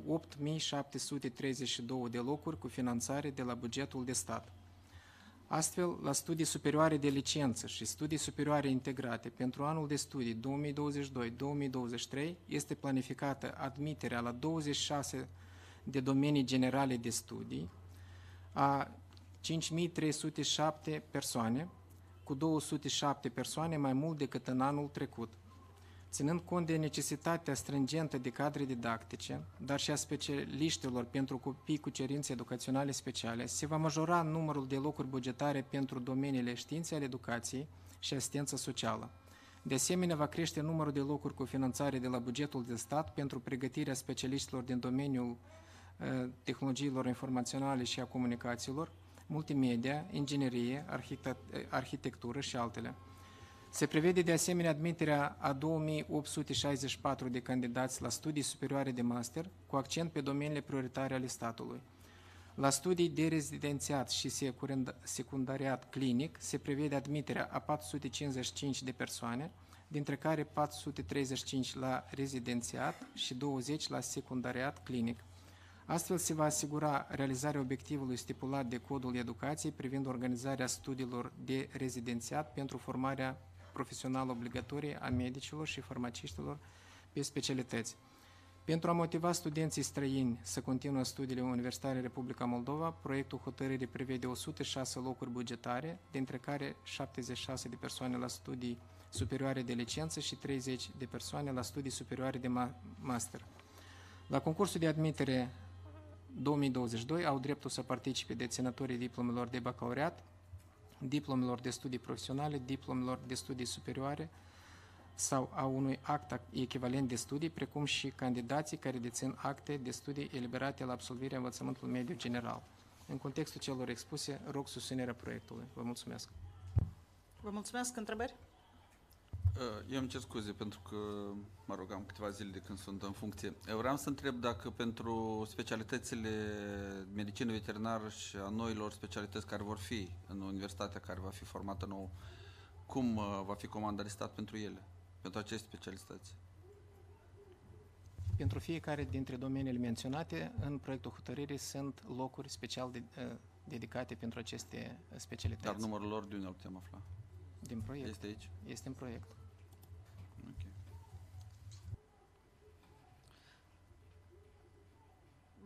Alte întrebări? Dacă nu sunt, cine este pentru susținerea acestui proiect? Aprobat. Vă mulțumesc. În continuare, domnul Gaibu. Da, stimată doamnă prim-ministru, stimați colegi, prezint atenție dumneavoastră proiectul hotărârii Guvernului cu privire la organizarea și funcționarea instituției publice Organizație pentru Dezvoltarea Antreprenoriatului. Proiectul a fost elaborat în scopul realizării obiectivelor de consolidare și eficientizare a implementării politicilor publice privind susținerea dezvoltării întreprinderilor mici și mijlocii, precum și a antreprenoriatului, prevăzute de programul de activitate al Guvernului și planul de acțiune al Guvernului pentru anul 2021-2022. Astfel, proiectul stabilește procesul de organizare și funcționare a Organizației pentru Dezvoltarea Antreprenoriatului, ODA, în calitate de instituție publică din sfera de competență a Ministerului Economiei, pentru, uh, pentru care uh, Ministerul exercită în numele statului funcția de fondator al acesteia. Proiectul prevede aprobarea statutului instituției publice Organizației pentru Dezvoltarea Antreprenoriatului, în care sunt reflectate misiunea, domeniile de activitate, funcțiile și drepturile acesteia, precum și structura uh, guvernanței corporative. Domeniile de competență ale ODA vor fi susținerea dezvoltării antreprenoriatului, asistență financiară și tehnică pentru întreprinderi, emiterea garanțiilor financiare de stat, dar și alte instrumente financiare pe care noi le dezvoltăm la etapa actuală. Este de remarcat că ODA, de fapt, este reorganizată, este ODIM-ul care este reorganizat în noua instituție cu, cu tot o nouă structură organizațională, o guvernanță complet reformată, în conformitate cu principiile moderne, prin care au fost stabilite cu asistența experților internaționali, astfel încât această guvernanță să dea confidență pentru partenerii internaționali pentru a acorda finanțare suplimentară și a extinde această organizație la cu totul alt nivel față de cum a existat până acum. Conform proiectelor, organele de conducere ale ODA vor fi Consiliul Instituției în calitate de organ colegial decizional de supraveghere și directorul în calitate de organ executiv. De asemenea, în cadrul ODA se instituie și va activa Comitetul de Finanțare și Risc, care va fi un organ colegial consultativ pentru Consiliul Instituției și director și care va uh, asigura acea transparență și evaluare uh, profesională a proiectelor financiare pentru uh, aprobare Uh, uh, în cadrul programelor stabilite pentru ODA. Um, de asemenea, bugetul ODA va fi format din alocațiile de la bugetul de stat, mijloacele financiare alocate de către finanțator, precum și din alte surse neinterzise de lege. Noi planificăm ca această instituție să devină un, o instituție importantă pentru economia națională și un, cu un set de instrumente care să contracareze maxim posibil ciclicitățile la care este economice, în special în, în perioadele de criză la care se supusă Republica Moldova. Conform celor relatate, rog aprobarea proiectului de hotărâre. Mulțumesc. Întrebări? Dacă nu sunt, cine este pentru susținerea acestei hotărâri? Aprobat. În continuare, domnul Budeanski. Stimată doamnă prim-ministru, stimați colegi, Ministerul Finanțelor prezintă atenției dumneavoastră proiectul hotărârii Guvernului cu privire la inițierea negocierilor și aprobarea semnării amendamentului numărul 1 la acordul de finanțare dintre Guvernul Republicii Moldova și Comisia Europeană privind contractul de consolidare a statului și rezilienței pentru Republica Moldova. Scopul principal al suportului respectiv este de a sprijini Republica Moldova să atenueze impactul socioeconomic al creșterii prețurilor la energie, în special asupra grupurilor vulnerabile, de a consolida capacitatea generală a Guvernului de a furniza servicii adaptate acestor grupuri vulnerabile și servicii de bază populației, populației sale și de a sprijini redresarea socioeconomică pe termen lung, securitatea energetică și tranziția energetică în Republica Moldova. Amendamentul în cauză prevede o finanțare adițională în valoare de 75 milioane euro, majorând astfel bugetul programului de suport bugetar până la 135 milioane euro. După cum cunoașteți, prima tranșă a fost uh, primită de Republica Moldova 24 decembrie anul trecut, în valoare de 60 milioane euro. Deci aceasta este o, un gest de susținere și solidaritate cu Republica Moldova, care demonstrează încă o dată avantajele integrării Uniunii Europene și menținerii cooperării cu Uniunea Europeană. Scopul, suportul financiar urmează a fi debursat într-o singură tranșă, în baza evaluării implementării celor patru condiții generale aferente politicii publice relevante, și anume Planul Național de Acțiune privind criza energetică, actualizat și extins, 2. Stabilității macroeconomice, 3. Managementul finanțelor publice și 4. Transparență bugetare. Proiectul în cauză a fost supus avizării și de către toate autoritățile interesate, toate obiecțiile au fost luate în calcul la finalizarea proiectului. Astfel, rog susținerea proiectului. Vă mulțumesc. Deci așa, acea compensare în factură pe care au văzut-o majoritatea gospodăriilor casnice din Moldova a fost posibilă inclusiv datorită acestei asistențe nerambursabile, acestor granturi care au fost acordate de Uniunea Europeană. Am avut acele 60 de milioane de euro și iată că acum asistență suplimentară de 75 milioane de euro. Aceasta ne oferă spațiu fiscal să putem gestiona aceste crize și să fim alături de oameni în perioada dificilă. Cine este pentru susținerea acestui proiect? Aprobat. În continuare, doamna Reven. Stimată doamnă prim-ministru, stimați colegi, prezint atenției dumneavoastră proiectul hotărârii Guvernului pentru inițierea negocierilor asupra proiectului acordului între Guvernul Republicii Moldova și Guvernul României privind controlul coordonat în punctul de trecere a frontierei de stat Leușeni-Albița rutier pe sensul de intrare în România. Scopul proiectului constă în dezvoltarea relațiilor de cooperare între structurile cu atribuții la frontierele Republicii Moldova și României în domeniul gestionării integrate a frontierelor, precum și la stabilirea noilor forme de interacțiune privind autorizarea trecerii frontierei de stat de către persoane, mijloace de transport, mărfuri și alte bunuri, în punctul de trecere a frontierei de stat Leușeni-Albița, în conformitate cu cerințele și practica europeană. Acordul va contribui la accelerarea și facilitarea traversării frontierei de stat moldo-române, prin efectuarea controlului coordonat al traficului în baza principiului oprire unică, fapt care va reduce timpul de așteptare. Realizarea activității comune va ajuta cu certitudine la sporirea capacităților instituționale ale autorităților de frontieră, dar și la armonizarea procedurilor de control la standardele Uniunii Europene. În același timp, acordul va contribui la asigurarea securității frontierei dintre Republica Moldova și România, care este frontiera externă a Uniunii Europene, precum și la asigurarea securității naționale, a bunăstării economice a ambelor state, la prevenirea și lupta împotriva criminalității transfrontaliere organizate și terorismul internațional, desigur că, nu în ultimul rând, este și o soluție în contextul crizei gestionate de invazia rusă în Ucraina, în legătură cu blocarea lanțului de logistic de aprovizionare și sperăm că aceste negocieri vor avea rezultate cât de curând, astfel încât să punem în aplicare deja această nouă măsură privind controlul coordonat la frontieră pe sensul de intrare în România. În acest sens, rog susținerea proiectului. Vă mulțumesc. Este un pilot foarte important. De ani de zile am vrut să implementăm un proces coordonat de control la, la frontieră și iată că acum lansăm negocierile și sperăm în foarte scurt timp să putem efectua acest pilot cu succes ca să-l putem extinde și la alte puncte de frontieră. Cine este pentru susținerea acestei hotărâri? Aprobat. În continuare, domnul Țurcanu, vă rog. Stimată doamnă prim-ministru, stimați membri ai Guvernului, propun atenției dumneavoastră proiectul hotărârii Guvernului cu privire la modificarea unor hotărâri ale Guvernului, elaborat în vederea executării acțiunilor 216, 2115 și 2118 din Planul de Acțiune al Guvernului pentru anii 21-22, acțiuni ce țin de stimularea utilizării serviciilor electronice și de instituirea unui mecanism unificat de depunere a cererilor electronice pentru serviciile publice.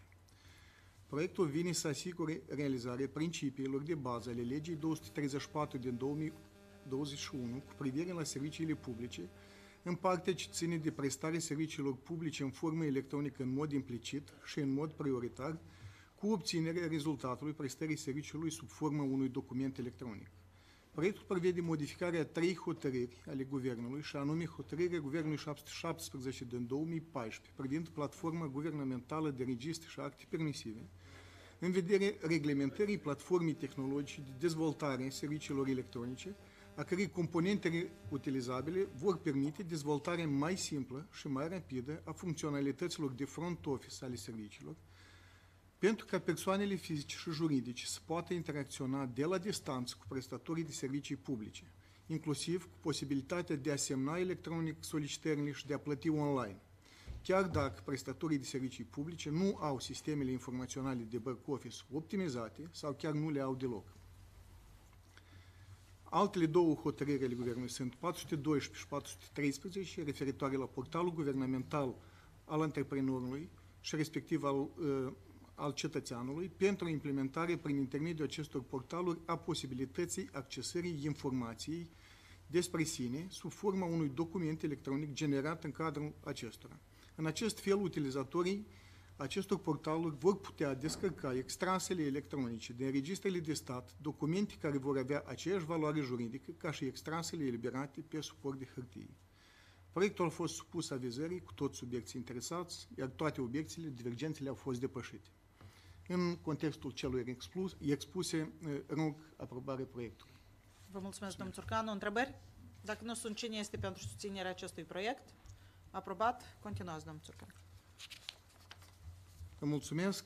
Stimată doamnă prim-ministru, stimați colegi, propun atenției dumneavoastră proiectul hotărârii Guvernului cu privire la aprobarea modului de recunoaștere a semnăturilor electronice calificate, create utilizând un certificat calificat al cheii publice, eliberat de un prestator de servicii de încredere dintr-un stat membru al Uniunii Europene.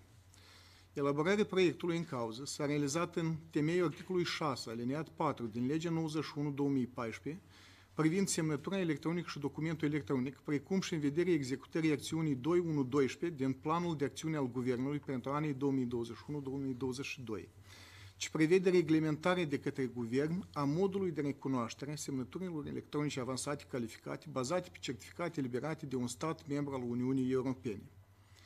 Proiectul cuprinde reglementări referitoare la aspectele organizatorice și tehnice pentru punerea în practică a mecanismului de recunoaștere a semnăturilor electronice respective și stabilește termenii de realizare precum și entitățile responsabile de implementarea acestui, acestei eh, proceduri.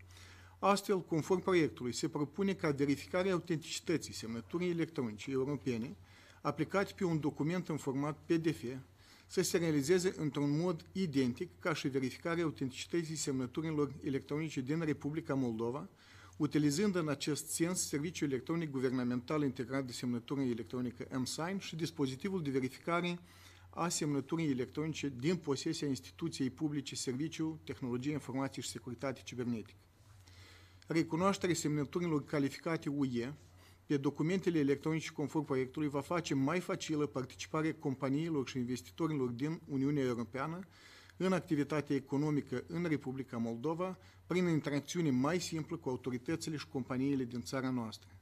Implementarea acestor prevederi ale proiectului nu necesită alocări din uh, buget, uh, alocări financiare din buget uh, suplimentare celor care deja sunt alocate Agenției de Guvernare Electronic și Serviciul Tehnologiei Informației și Securitate Cibernetică, iar proiectul în procesul de avizare a consultat toate autoritățile interesate și toate divergențele au fost eliminate. În acest context, rog susținerea acestui proiect. Vă mulțumesc. Mulțumesc. Întrebări? Dacă nu sunt, cine este pentru susținerea acestui proiect? Mult așteptat, de altfel. Vă mulțumesc, domnul Surcanu. În continuare, doamna Nimirencu. Stimată doamnă prim-ministru, stimați membri ai Guvernului, propun atenției dumneavoastră proiectul hotărârii de guvern pentru inițierea negocierilor și aprobarea semnării acordului întocmit prin schimb de note între Guvernul Republicii Moldova și Guvernul Japoniei privind implementarea programului de consolidare a sistemului medical.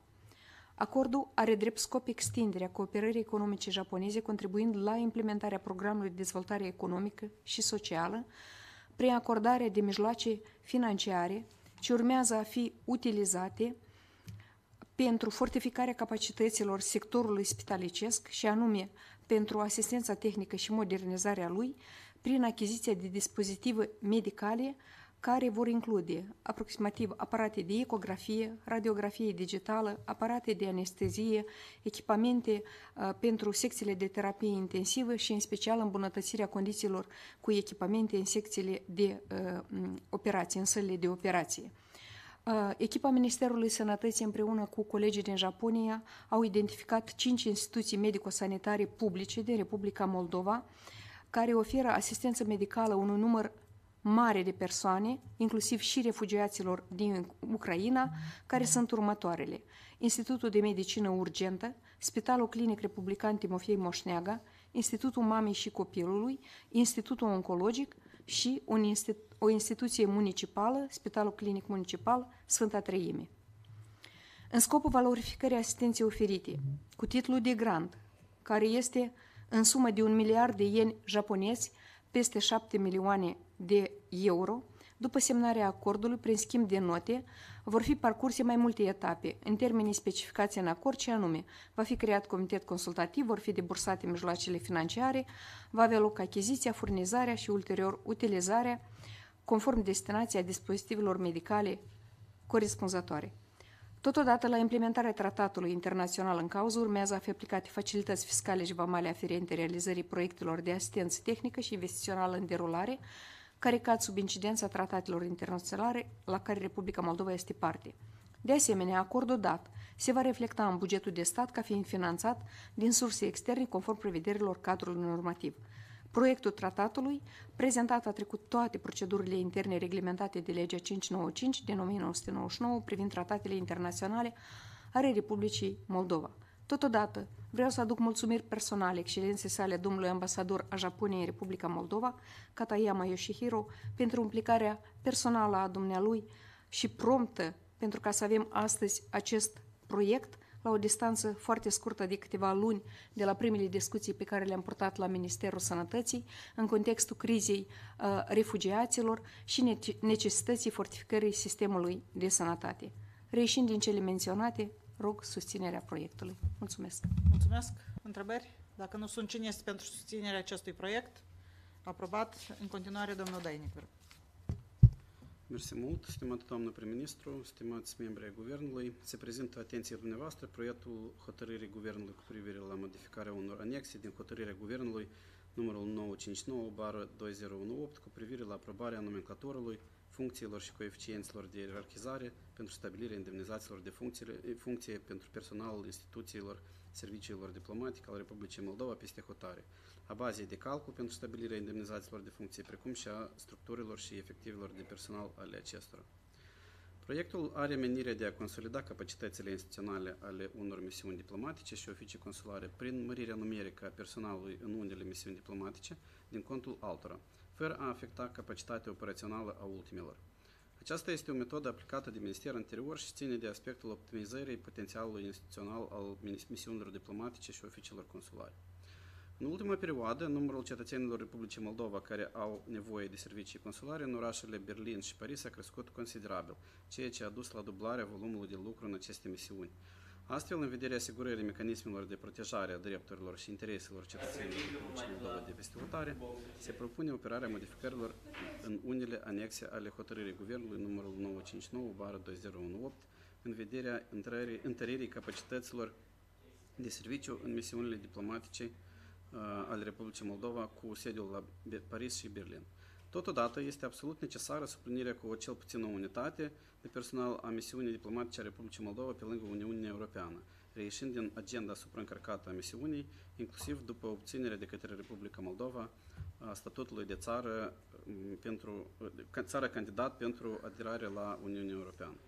Prin urmare, proiectul prevede completarea statutului de personal în uh, misiunile diplomatice r- ale Republicii Moldova la Berlin, Paris și pe lângă Uniunea Europeană, cu câte o funcție de secretar 1 din contul structurii și efectivului de personal existent al misiunii diplomatice din Polonia și oficiilor consulare din Nisa și Milano.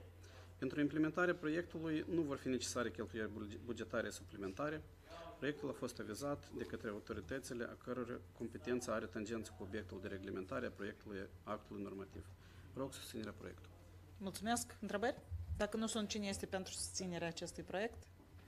Aprobat. În continuare, domnul Crigan.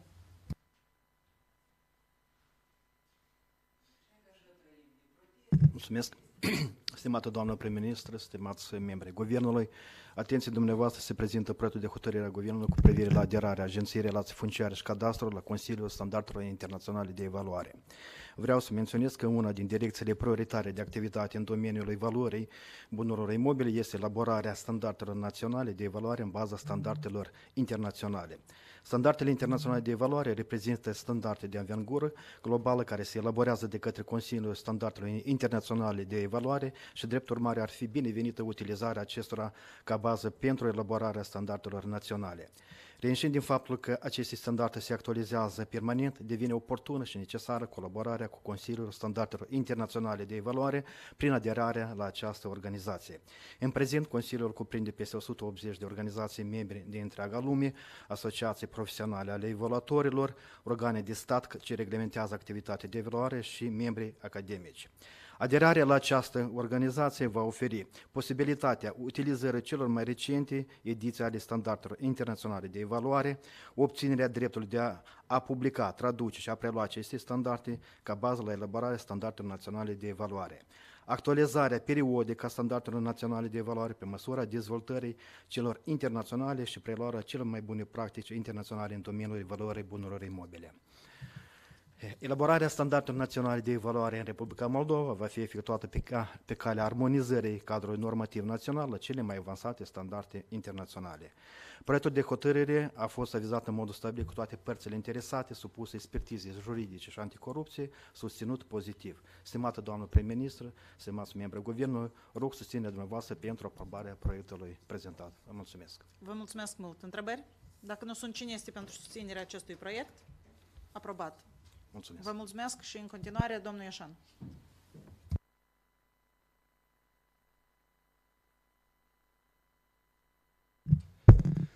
Stimată doamnă prim-ministru, onorat uh, cabinet, n- propun spre examinare uh, proiectul hotărârii Guvernului cu privire la modelele actelor de identitate pentru apatriți, cetățeni străini, refugiați, beneficiari de protecție umanitară. Uh, Prin derogare de la anexele de la anexa 3 până, 4 până la anexa 9, hotărârii Guvernului 522 din 2019, proiectul hotărârii Guvernului prevede aprobarea noilor modele de acte de identitate cu, exp, uh, cu expunerea formei și descrie conținutul acestora în anexele respective, confecționate cu utilizarea tehnologiei Teslin. Promovarea proiectului are de scop asigurarea uh, continuă a procesului de eliberare a actelor, care s-a rezultat în num- creștere înzecită a numărului de acte pe care le eliberează astăzi BNM refugiaților, apatrizilor și uh, persoane cu uh, viză temporară de reședință um, în Republica Moldova. Proiectul a fost supus uh, consultărilor publice și a vizat cu toate instituțiile responsabile. Mersi mult. Doar o precizare, uh, eliberate de BMA, Biroul De BMA. Migrației și Azil. Da. Da. BMA, Biroul Migrației și Azil. Da. Uh, Întrebări? Dacă nu sunt, cine este pentru ace- aprobarea acestei hotărâri? Vă Mulțumesc. mulțumesc, domnule Șan. În continuare, domnul Udrea. Stimată doamnă prim-ministru, stimați uh, colegi, propun atenției dumneavoastră proiectul hotărârii Guvernului cu privire la transmiterea unui bun imobil numărul unic 327 bară CS bară 2022. Proiectul de hotărâre de guvern este promovat în scopul asigurării administrării eficiente a bunurilor proprietate publică, precum și în vederea asigurării personal, uh, personalului Ministerului Economiei și instituției publice Organizația pentru Dezvoltarea Antreprenoriatului, care astăzi uh, am, am discutat-o cu denumirea anterioară Organizație pentru Dezvoltarea Întreprinderilor Mici și Mijlocii, cu birouri și spații tehnice, pentru asigurarea unor condiții optime, de inclusiv acordarea accesului la serviciile de suport în afaceri de către antreprenori. Astfel, proiectul prevede transmiterea din administrarea Ministerului Agriculturii și Industriei Alimentare, gestiunea instituției publice, Agenție de Intervenții și Plăți pentru Agricultură, în administrarea Ministerului Economiei, a construcției amplasată în municipiul Chișinău, Bulevardul Grigore Vieru, numărul 6, precum și alte prevederi care derivă din aceasta, cum ar fi instituirea Comisiei de Transmitere, modificarea anexei numărul 7 și 14 la hotărârea Guvernului numărul 351 din 2005. În contextul celor expuse, rog aprobarea proiectului hotărâre de guvern. Mulțumesc. Vă mulțumesc. Cine este pentru susținerea acestui proiect? Mulțumesc mult. Aprobat. În continuare avem uh, câteva avize. Uh, vă rog, pe scurt, doamna Cantaragiu. Mulțumesc, stimată doamnă prim-ministru, stimați colegi, prezint atenție dumneavoastră proiectul hotărârii Guvernului cu privire la aprobarea vizului asupra proiectului de lege pentru modificarea legii numărul 108 din 2020 privind controlul pericolilor de accidente majore care implică substanțe periculoase, înaintat cu titlul de inițiativă legislativă numărul 209 din 26 mai 2022. Proiectul supus avizării are drept scop modificarea legii numărul 108 din 2020 privind controlul pericolelor de accidente majore care implică substanțe periculoase prin abrogarea prevederilor ce țin de aprobare de către guvern a, unui, a cadrului normativ secundar de implementare a legii și atribuirea Ministerului Mediului responsabilității de aprobare a ghidului de aplicare a legii menționate. Totodată, proiectul vine cu unele clarificări sub aspect tehnic de implementare și aplicare a prevederilor legii numărul 108 din 2020 de către autoritățile responsabile și agenții economici sau operatori prin completarea cu anexa numărul 8 care prezintă un formular tipizat de notificare a activităților ce prezintă pericole de producere accidentelor majore în care sunt implicate substanțe periculoase.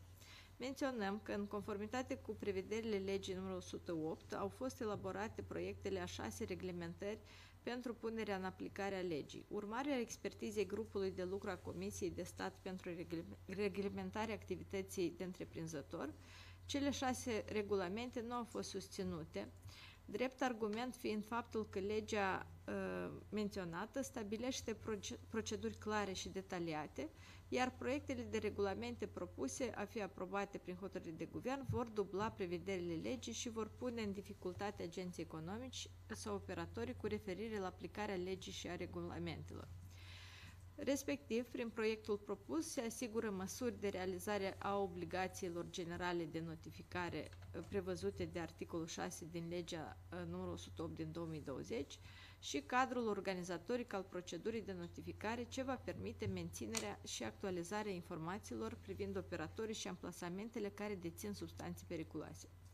Proiectul legii a fost avizat cu ministerele interesate, conform cerințelor cadrului normativ, propunerile acestora fiind luate în considerație la definitivarea proiectului. În contextul celor expuse, solicităm susținerea uh, avizului menționat. Mulțumesc! Mulțumesc! Întrebări? Dacă nu sunt, cine este pentru susținerea acestui aviz? Aprobat. În continuare, domnul Borusan. Stimată doamnă prim-ministru, stimați membri ai Guvernului, prezentăm atenției dumneavoastră proiectul hotărârii Guvernului cu privire la aprobarea avizului asupra proiectului de lege pentru modificarea unor acte normative, inițiative legislative numărul 236 din 14 iunie 2022, care prevede uh, propune modificări la legea privind autorizarea executărilor lucrărilor de construcții și legea privind calitatea în construcții. Potrivit notei informative, reglementările propuse prin proiectul legii pentru modificarea unor acte normative sunt orientate spre optimizarea producerii de autorizare a lucrărilor de construcție, a rețelelor de comunicații electronice și a rețelelor inginerești. Proiectul prevede patru tipuri de lucrări aferente construcției de rețele de comunicații electronice și rețele inginerești, care vor putea fi realizate fără certificat de urbanism și respectiv fără autorizație, autorizare de construire. Aceste lucrări sunt instalarea rețelelor inginerești și de comunicații electronice și a elementelor de infrastructură asociată acestor rețele pe imobilele, construcțiile și instalațiile existente sau în interiorul lor, inclusiv canalizarea subterană existentă pentru cabluri. Instalarea rețelelor inginerești și de comunicații electronice în infrastructura pentru instalarea echipamentelor și altor elemente de infrastructură a rețelelor interne de acces din clădiri. Întreținerea, reparația, înlocuirea și retehnologizarea rețelelor inginerești și de comunicații electronice și a elementelor de infrastructură asociate acestor rețele. Conectarea abonaților la rețelele inginerești și de comunicații electronice, rețelele interne de acces. Implementarea prevederilor proiectului va conduce la crearea unei infrastructuri moderne, bazate pe cele mai performante tehnologii, extinderea acoperirii și creșterea calității serviciilor, creșterea concurenței între furnizori și diversificarea ofertelor de servicii, creșterea vitezelor de acces la internet și a gamei și varietății postelor TV, reducerea prețurilor pentru abonați, creșterea calității de servire a abonaților, creșterea productivității și atragerea investițiilor în localități. În temeiul celor expuse, solicităm respectuos susținerea pozitivă a inițiativei respective cu expunerea propunerilor de îmbunătățire conținute în aviz. Mulțumesc. Întrebări? Dacă nu sunt, cine este pentru susținerea acestui aviz? Aprobat. În continuare, domnul Litvinic. Mulțumesc, stimată doamnă prim-ministru, stimați colegi. Propun aprobarea avizului Guvernului la un proiect de la un proiect de lege, inițiativă legislativă a unui grup de deputați, prin care se propune modificarea cadrului normativ în scopul perfecționării mecanismului de protecție împotriva hărțuirii sexuale. Reglementarea fragmentară a hărțuirii sexuale în diferite acte normative creează confuzie atât pentru instituțiile investite cu acțiuni de prevenire și investigare a actelor de hărțuire sexuală, cât și pentru victimele în procesul de raportare a cazurilor. Prin proiectul de lege, Autorii propun mai multe modificări la codul muncii, codul penal, codul contravențional, legea cu la asigurarea egalității de șanse dintre bărbați și femei, legea avocaturii. Una dintre modificările propuse la codul muncii se referă la responsabilizarea angajatorilor care nu intervin pentru a combate actele de hărțuire sexuală despre care cunosc. O altă prevedere se referă la completarea codului contravențional, astfel încât să fie posibil atragerea la răspundere contravențională pentru nerespectarea de către angajator a obligației de a întreprinde măsuri de prevenire, examinare și intervenții în cazul în care se constată acte de hărțuire sexuală sau obstrucționarea procesului de reclamare a acestor cazuri. Uh, vreau să menționez că mai multe propuneri din această inițiativă legislativă se regăsesc în unele proiecte elaborate și promovate de către Ministerul uh, Justiției. În avizul respectiv se menționează anume care proiecte și care prevederi sunt preluate din, de unde. Uh, în concluzie, uh, propun să susținem de principiu acest proiect de lege în condițiile în care se va ține cont de obiecțiile și propunerile de îmbunătățire formulate în textul avizului. Mulțumesc! Mulțumesc, domnul Litvinenko. Cine este pentru susținerea acestui aviz? Aprobat. În continuare, domnul Spătaru.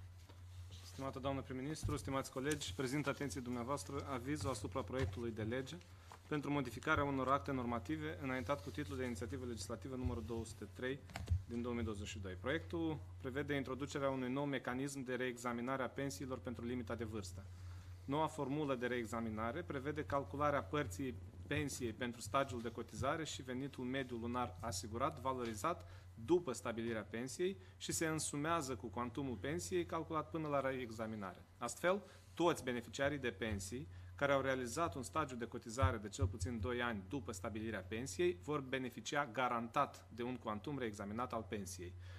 Această propunere vine să soluționeze o problemă care a fost semnalată de mai mulți uh, uh, pensionari care au depus actele pentru reexaminarea pensiei și după reexaminare Uh, de fapt pensia lor nu s-a schimbat. Acum, în mod garantat, toți cei care au muncit după uh, pensionare și depun pentru reexaminare vor avea o pensie crescută. De asemenea, proiectul prevede utilizarea salariului mediu la reexaminarea pensiilor pentru limita de vârstă, stabilite în, în anii 2017 până în 2021, la calcularea cărora a fost inclus în stagiul de cotizare perioada necontributivă de îngrijire a unui copil cu dizabilitate severă sub vârsta de 18 ani. Până acum această perioadă era uh, luată în calcul um, cu echivalentul salariului minim pe uh, țară. Noi propunem să fie, bine, uh, autorii proiectului și noi suntem de acord, propun să fie luată în calcul perioada la uh, valoarea salariului mediu pe țară. Deci o, valoriz- uh, o valorizare mai bună a acestei perioade.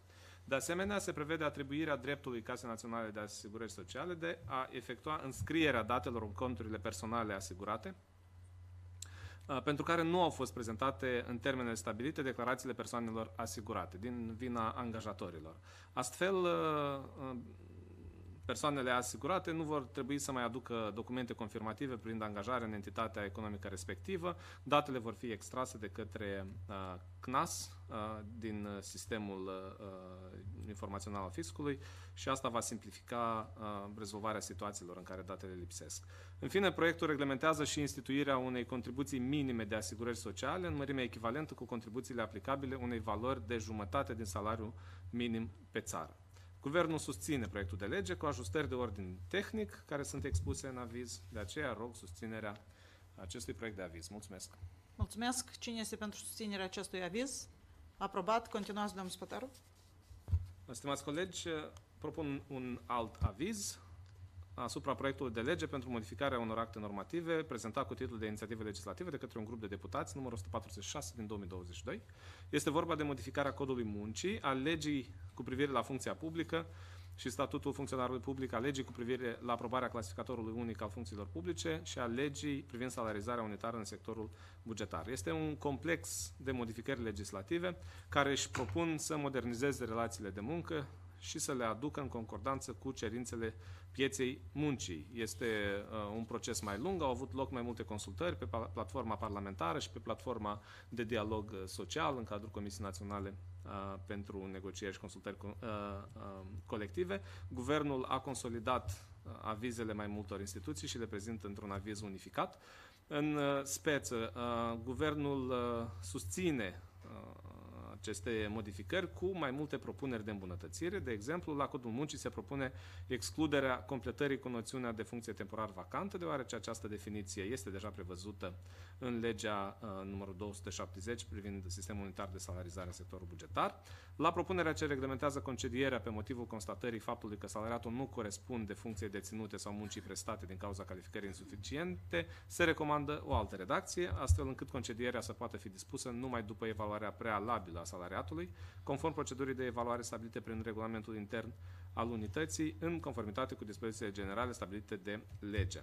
Uh, referitor la retribuirea muncii în caz de cumulare a profesiilor, se propune păstrarea variantei în vigoare, deoarece prevederile actuale garantează salariatului uh, care cumulează obligațiile de muncă uh, cu cele ale proprii, cu cele ale salariatului temporar absent, atât mărimea minimă cât și cea maximă a sporului de cumulare, iar adoptarea modificărilor propuse va constitui o diminuare a garanțiilor salariale. La legea numărul 155 cu privire la aprobarea clasificatorului unic al funcțiilor publice se propune ca cerințele minime pentru unele titluri de funcții să fie unificate cu funcții echivalente. Sunt mai multe modificări pe care le sugerăm în aviz. Susținem de principiu proiectului de lege, proiectul de lege și uh, sperăm să fie ajustat cu propunerile din avizul nostru consolidat. Rog să aprobăm acest proiect de aviz. Mersi.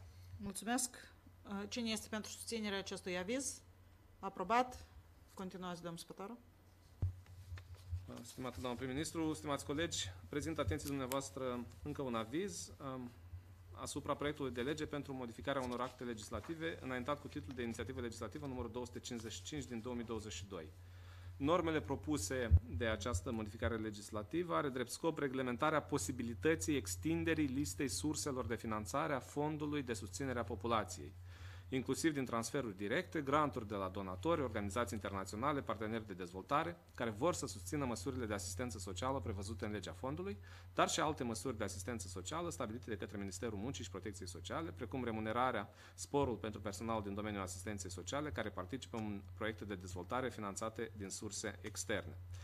Conceptual, susținem uh, acest uh, proiect de lege pentru că ne va permite să absorbim mai bine resursele uh, externe care sunt acum alocate Republicii Moldova pentru programele de asistență socială, în special în contextul crizei refugiaților. Uh, Proiectul nu implică costuri suplimentare de la bugetul de stat, din contra, prevede posibilitatea ca donatorii, partenerii să vină cu transferuri directe, donații, granturi pentru susținerea domeniului social. Reieșind din cele menționate, rog susținerea proiectului. Mulțumesc! Mulțumesc. Cine este pentru susținerea acestui aviz? Aprobat. În continuare, domnul Budeanski, vă rog. Stimată doamnă prim-ministru, stimați membri ai Guvernului, se prezintă atenției dumneavoastră proiectul hotărârii de guvern cu privire la aprobarea avizului la proiectul de lege privind acordarea unor facilități fiscale și vamale pentru cetățenii Republicii Moldova care revin în, cu traiul în Republica Moldova, înaintat cu titlul de inițiativă le- legislativă de către președintele Republicii Moldova, doamna Maia Sandu. Uh, Proiectul de lege stabilește acordarea unor facilități fiscale și vamale pentru cetățenii Republicii Moldova care decid să revină cu traiul în Republica Moldova. Astfel, proiectul de lege stabilește scutiri de la plata drepturilor de import pentru introducerea în țara bunurilor de uz personal și a unui mijloc de transport. Prevederile se propun a fi aplicate pentru persoanele care s-au aflat în afara țării cel puțin 36 luni pe parcursul a ultimilor 48 de luni. Pentru a putea beneficia de facilități fiscale și vamale, persoanele care au atins vârsta de 18 ani trebuie să dețină cetățenii Republicii Moldova și să dispună de permis de ședere permanent sau provizorii în afara teritoriului Republicii Moldova sau să dețină dovada achitării impozitelor în interesul statului în care s-a aflat, precum și să dețină permis de conducere valabil pentru categoria din care face parte mijlocul de tra- de transport supus scutirii. Totodată, facilitățile fiscale și vamale nu se vor răsfrânge asupra cetățenilor Republicii Moldova care se află temporar pe teritoriul altor state în exercitarea atribuțiilor de serviciu în virtutea funcției publice sau a funcției de demnitate publică. Este de menționat că în conceptul propus, proiectul de lege stabilește că dreptul de, conduce, de conducere de mijloc de transport, important cu, cu scutiri de la plata drepturilor de import, va fi restricționat. Dreptul de conducere a mijlocului de transport fiind permis exclusiv importatorului sau so- soții, soț, eh, soțului, soției acestuia. Concomitent, pentru o monitorizare simplificată în traficul rutier a mijloacelor de transport respective, acestora li se va elibera plăci de înmatriculare distincte. Suplimentar, proiectul interzice comercializarea, angajarea, donația sau orice altă formă de dare în posesie sau folosință a mijlocului de transport importate în temeiul prezentei legi până la expirarea termenului de 5 ani de la data beneficierii de scutire de drept de import, cu excepția cazurilor achitării anticipate a a acestora. Ținând cont de cele expuse, rog susținerea proiectului. Mulțumesc. Vă mulțumesc mult. Un proiect uh, mult așteptat uh, de cetățenii noștri uh, aflați în străinătate, care vor să revină acasă. Uh, Deci este un proiect care va facilita uh, revenirea cu toate bunurile acumulate uh, în străinătate. Uh, Cine este pentru susținerea acestui aviz? Aprobat, vă mulțumesc. În continuare, domnul Gaibu. Stimată doamnă prim-ministru, stimați colegi, prezint atenție dumneavoastră proiectul hotărârii Guvernului privind aprobarea avizului la proiectul de lege pentru modificarea unor acte normative înaintat cu titlul de inițiativă legislativă numărul 247 din 17 iunie 2022. Potrivit notei informative, proiectul de lege prevede modificarea unor acte normative în scopul asigurării activității agenților economici din cadrul platformelor investiționale din Republica Moldova. Este vorba de zonele economice libere, parcurile industriale, portul internațional liber Giurgiulești și alte platforme de dezvoltare pentru agenții economici. În contextul modificărilor operate la Codul Civil prin legea numărul 133 din 2018, în mod particular, definirea superficiei ca drept real imobiliar de a poseda și folosi terenul altă în vederea edificării unei construcții, precum și a modificărilor de la legea numărul 63 din 2010 privind autorizarea executării lucrărilor de construcție, care statuiază că doar proprietarul de teren poate solicita eliberarea certificatului de urbanism și autorizația de construcție. Astfel, Le, eh, legea aceasta sau acest drept a fost instituit încă în 2018 și de atunci încă nicio guvernare nu a schimbat și nu a fortificat acest drept pentru cei care sunt sau rezidenții care sunt în aceste uh, platforme industriale, astfel încât să poată solicita autorizări de construcție și respectiv să beneficieze de aceste uh, autorizări pentru a realiza scopurile investiționale. Noi acum corectăm aceste uh, măsuri, noi am fost sesizați de către o parte de rezidenți care de ani de zile nu reușesc să rezolve problema dată și împreună cu colegii din uh, Parlament am uh, făcut aceste amendamente. Uh, Astfel, în contextul în care modificările expuse în proiect vor oferi mai multă claritate modului de liberare a actelor permisive pentru proiectare și construcție, inițiativa legislativă se susține fiind prezentate și unele propuneri de îmbunătățire. Conform celor expuse, rog aprobarea proiectului. Un alt proiect foarte important pentru agenții economici. Um, Cine este pentru susținerea acestui aviz? Aprobat. Trecem la cele două subiecte uh, pe care le-am adăugat la ordine de zi. Uh, Vă rog, domnul Borosan.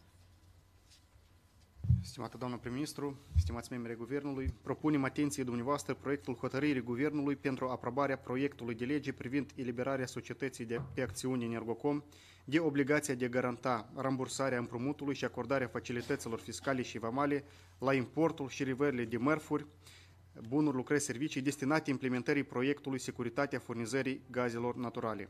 În vederea realizării proiectului Securitatea furnizării gazelor natura- naturale, la 23 iunie 2022 a fost semnat acordul de împrumut dintre Republica Moldova și Banca Europeană pentru Reconstrucție și Dezvoltare, în valoare de 300 milioane euro, iar la data de 7 iulie curent, Parlamentul a ratificat în prima lectură acordul de împrumut. O precondiție pentru intrarea în vigoare a acordului de împrumut dintre Republica Moldova și Banca Europeană pentru Reconstrucție și Dezvoltare reprezintă semnarea contractului de recreditare dintre Ministerul Finanțelor și Societatea pe Acțiuni Energocom. În conformitate cu prevederile articolului 23 din legea 419 din 2006 cu privire la datoria sectorului public, garanțiile de stat și recreditarea de stat, Ministerul Finanțelor este unicul organ împuternicit cu administrarea mijloacelor financiare obținute din împrumuturile de stat externe, care pot fi recreditate pentru realizarea proiectelor și a programelor de dezvoltare.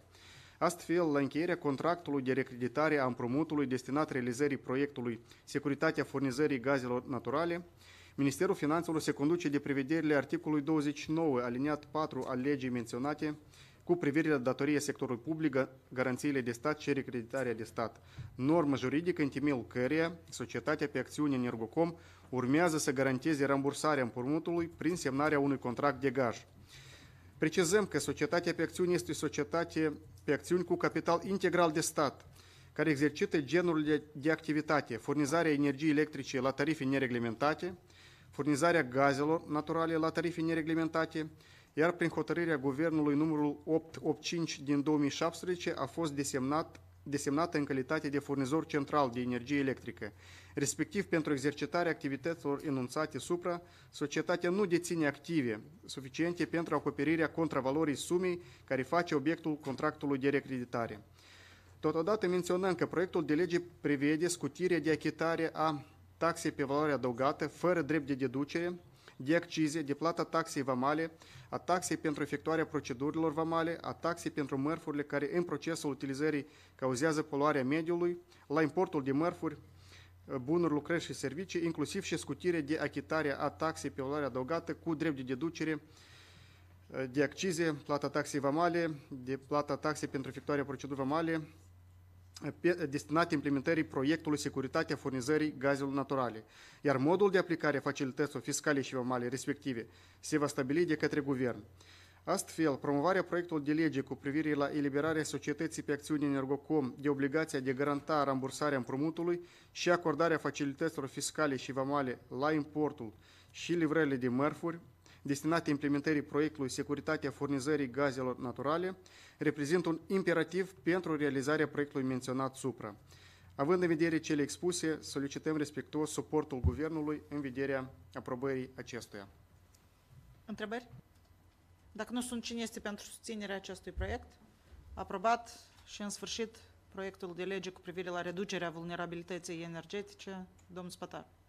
Stimată domnul prim-ministru, în sfârșit nu numai pentru că este ultimul punct de pe agenda de astăzi, dar și pentru că a luat foarte mult timp elaborarea acestui eh, proiect de lege, au fost consultate mai multe um, instituții naționale și internaționale, pentru că uh, este chiar și o premieră regională ceea ce ne propunem noi să facem. Propun în atenție dumneavoastră proiectul de lege privind fondul de reducere a vulnerabilității energetice, elaborat în scopul diminuării impactului creșterii prețurilor la energie asupra consumatorilor vulnerabili. Crearea fondului de reducere a vulnerabilității energetice va permite acordarea în factură a compensațiilor lunare pentru consumul de gaze naturale, energie electrică și energie termică, în mod diferențiat în funcție de categoria de vulnerabilitate a consumatorilor casnici, precum și acordarea subvențiilor pentru înlocuirea aparatelor electrocasnice depășite tehnic și moral cu unele eficiente din punct de vedere energetic. Pentru obținerea compensațiilor lunare, consumatorii casnici de energie se vor înregistra într-un sistem informațional uh, electronic, Registrul Vulnerabilității Energetice, uh, un sistem care va fi gestionat de Ministerul Muncii și Protecției Sociale, care va permite acumularea datelor necesare pentru încadrarea consumatorilor în una din categoriile de vulnerabilitate energetică. Clasif- uh, clasificarea categoriilor de consumatori vulnerabili se va baza pe o serie de parametri și anume venitul, numărul de membri ai familiei, ponderea cheltuielilor pentru energie în consumul gospodăriei, tipul sistemului de încălzire utilizate și alții stabiliți de guvern. Reieșind din importanța acestui proiect în, context, în contextul crizei energetice curente, uh, efectele căreia sunt amplificate de criza pandemică și războiul din Ucraina, rog susținerea proiectului. Vă mulțumesc! Vă mulțumesc! Uh, Este important că avem și elemente de compensare și elemente de eficiență energetică, deci inclusiv vor fi aceste vouchere pentru schimbul de electrocasnice, așa cum uh, este în România, în alte țări. Uh, Eu vă rog, uh, domnule Spătaru, împreună cu colegii, cu domnul Topalu și cu domnul Borusan, să ieșiți la presă imediat după încheierea ședinței guvernului. A fost o agendă foarte consistentă și este important să comunicăm toate detaliile uh, hotărârilor aprobate. Cine este pentru susținerea acestei, acestui proiect? Aprobat. Vă mulțumesc. Aici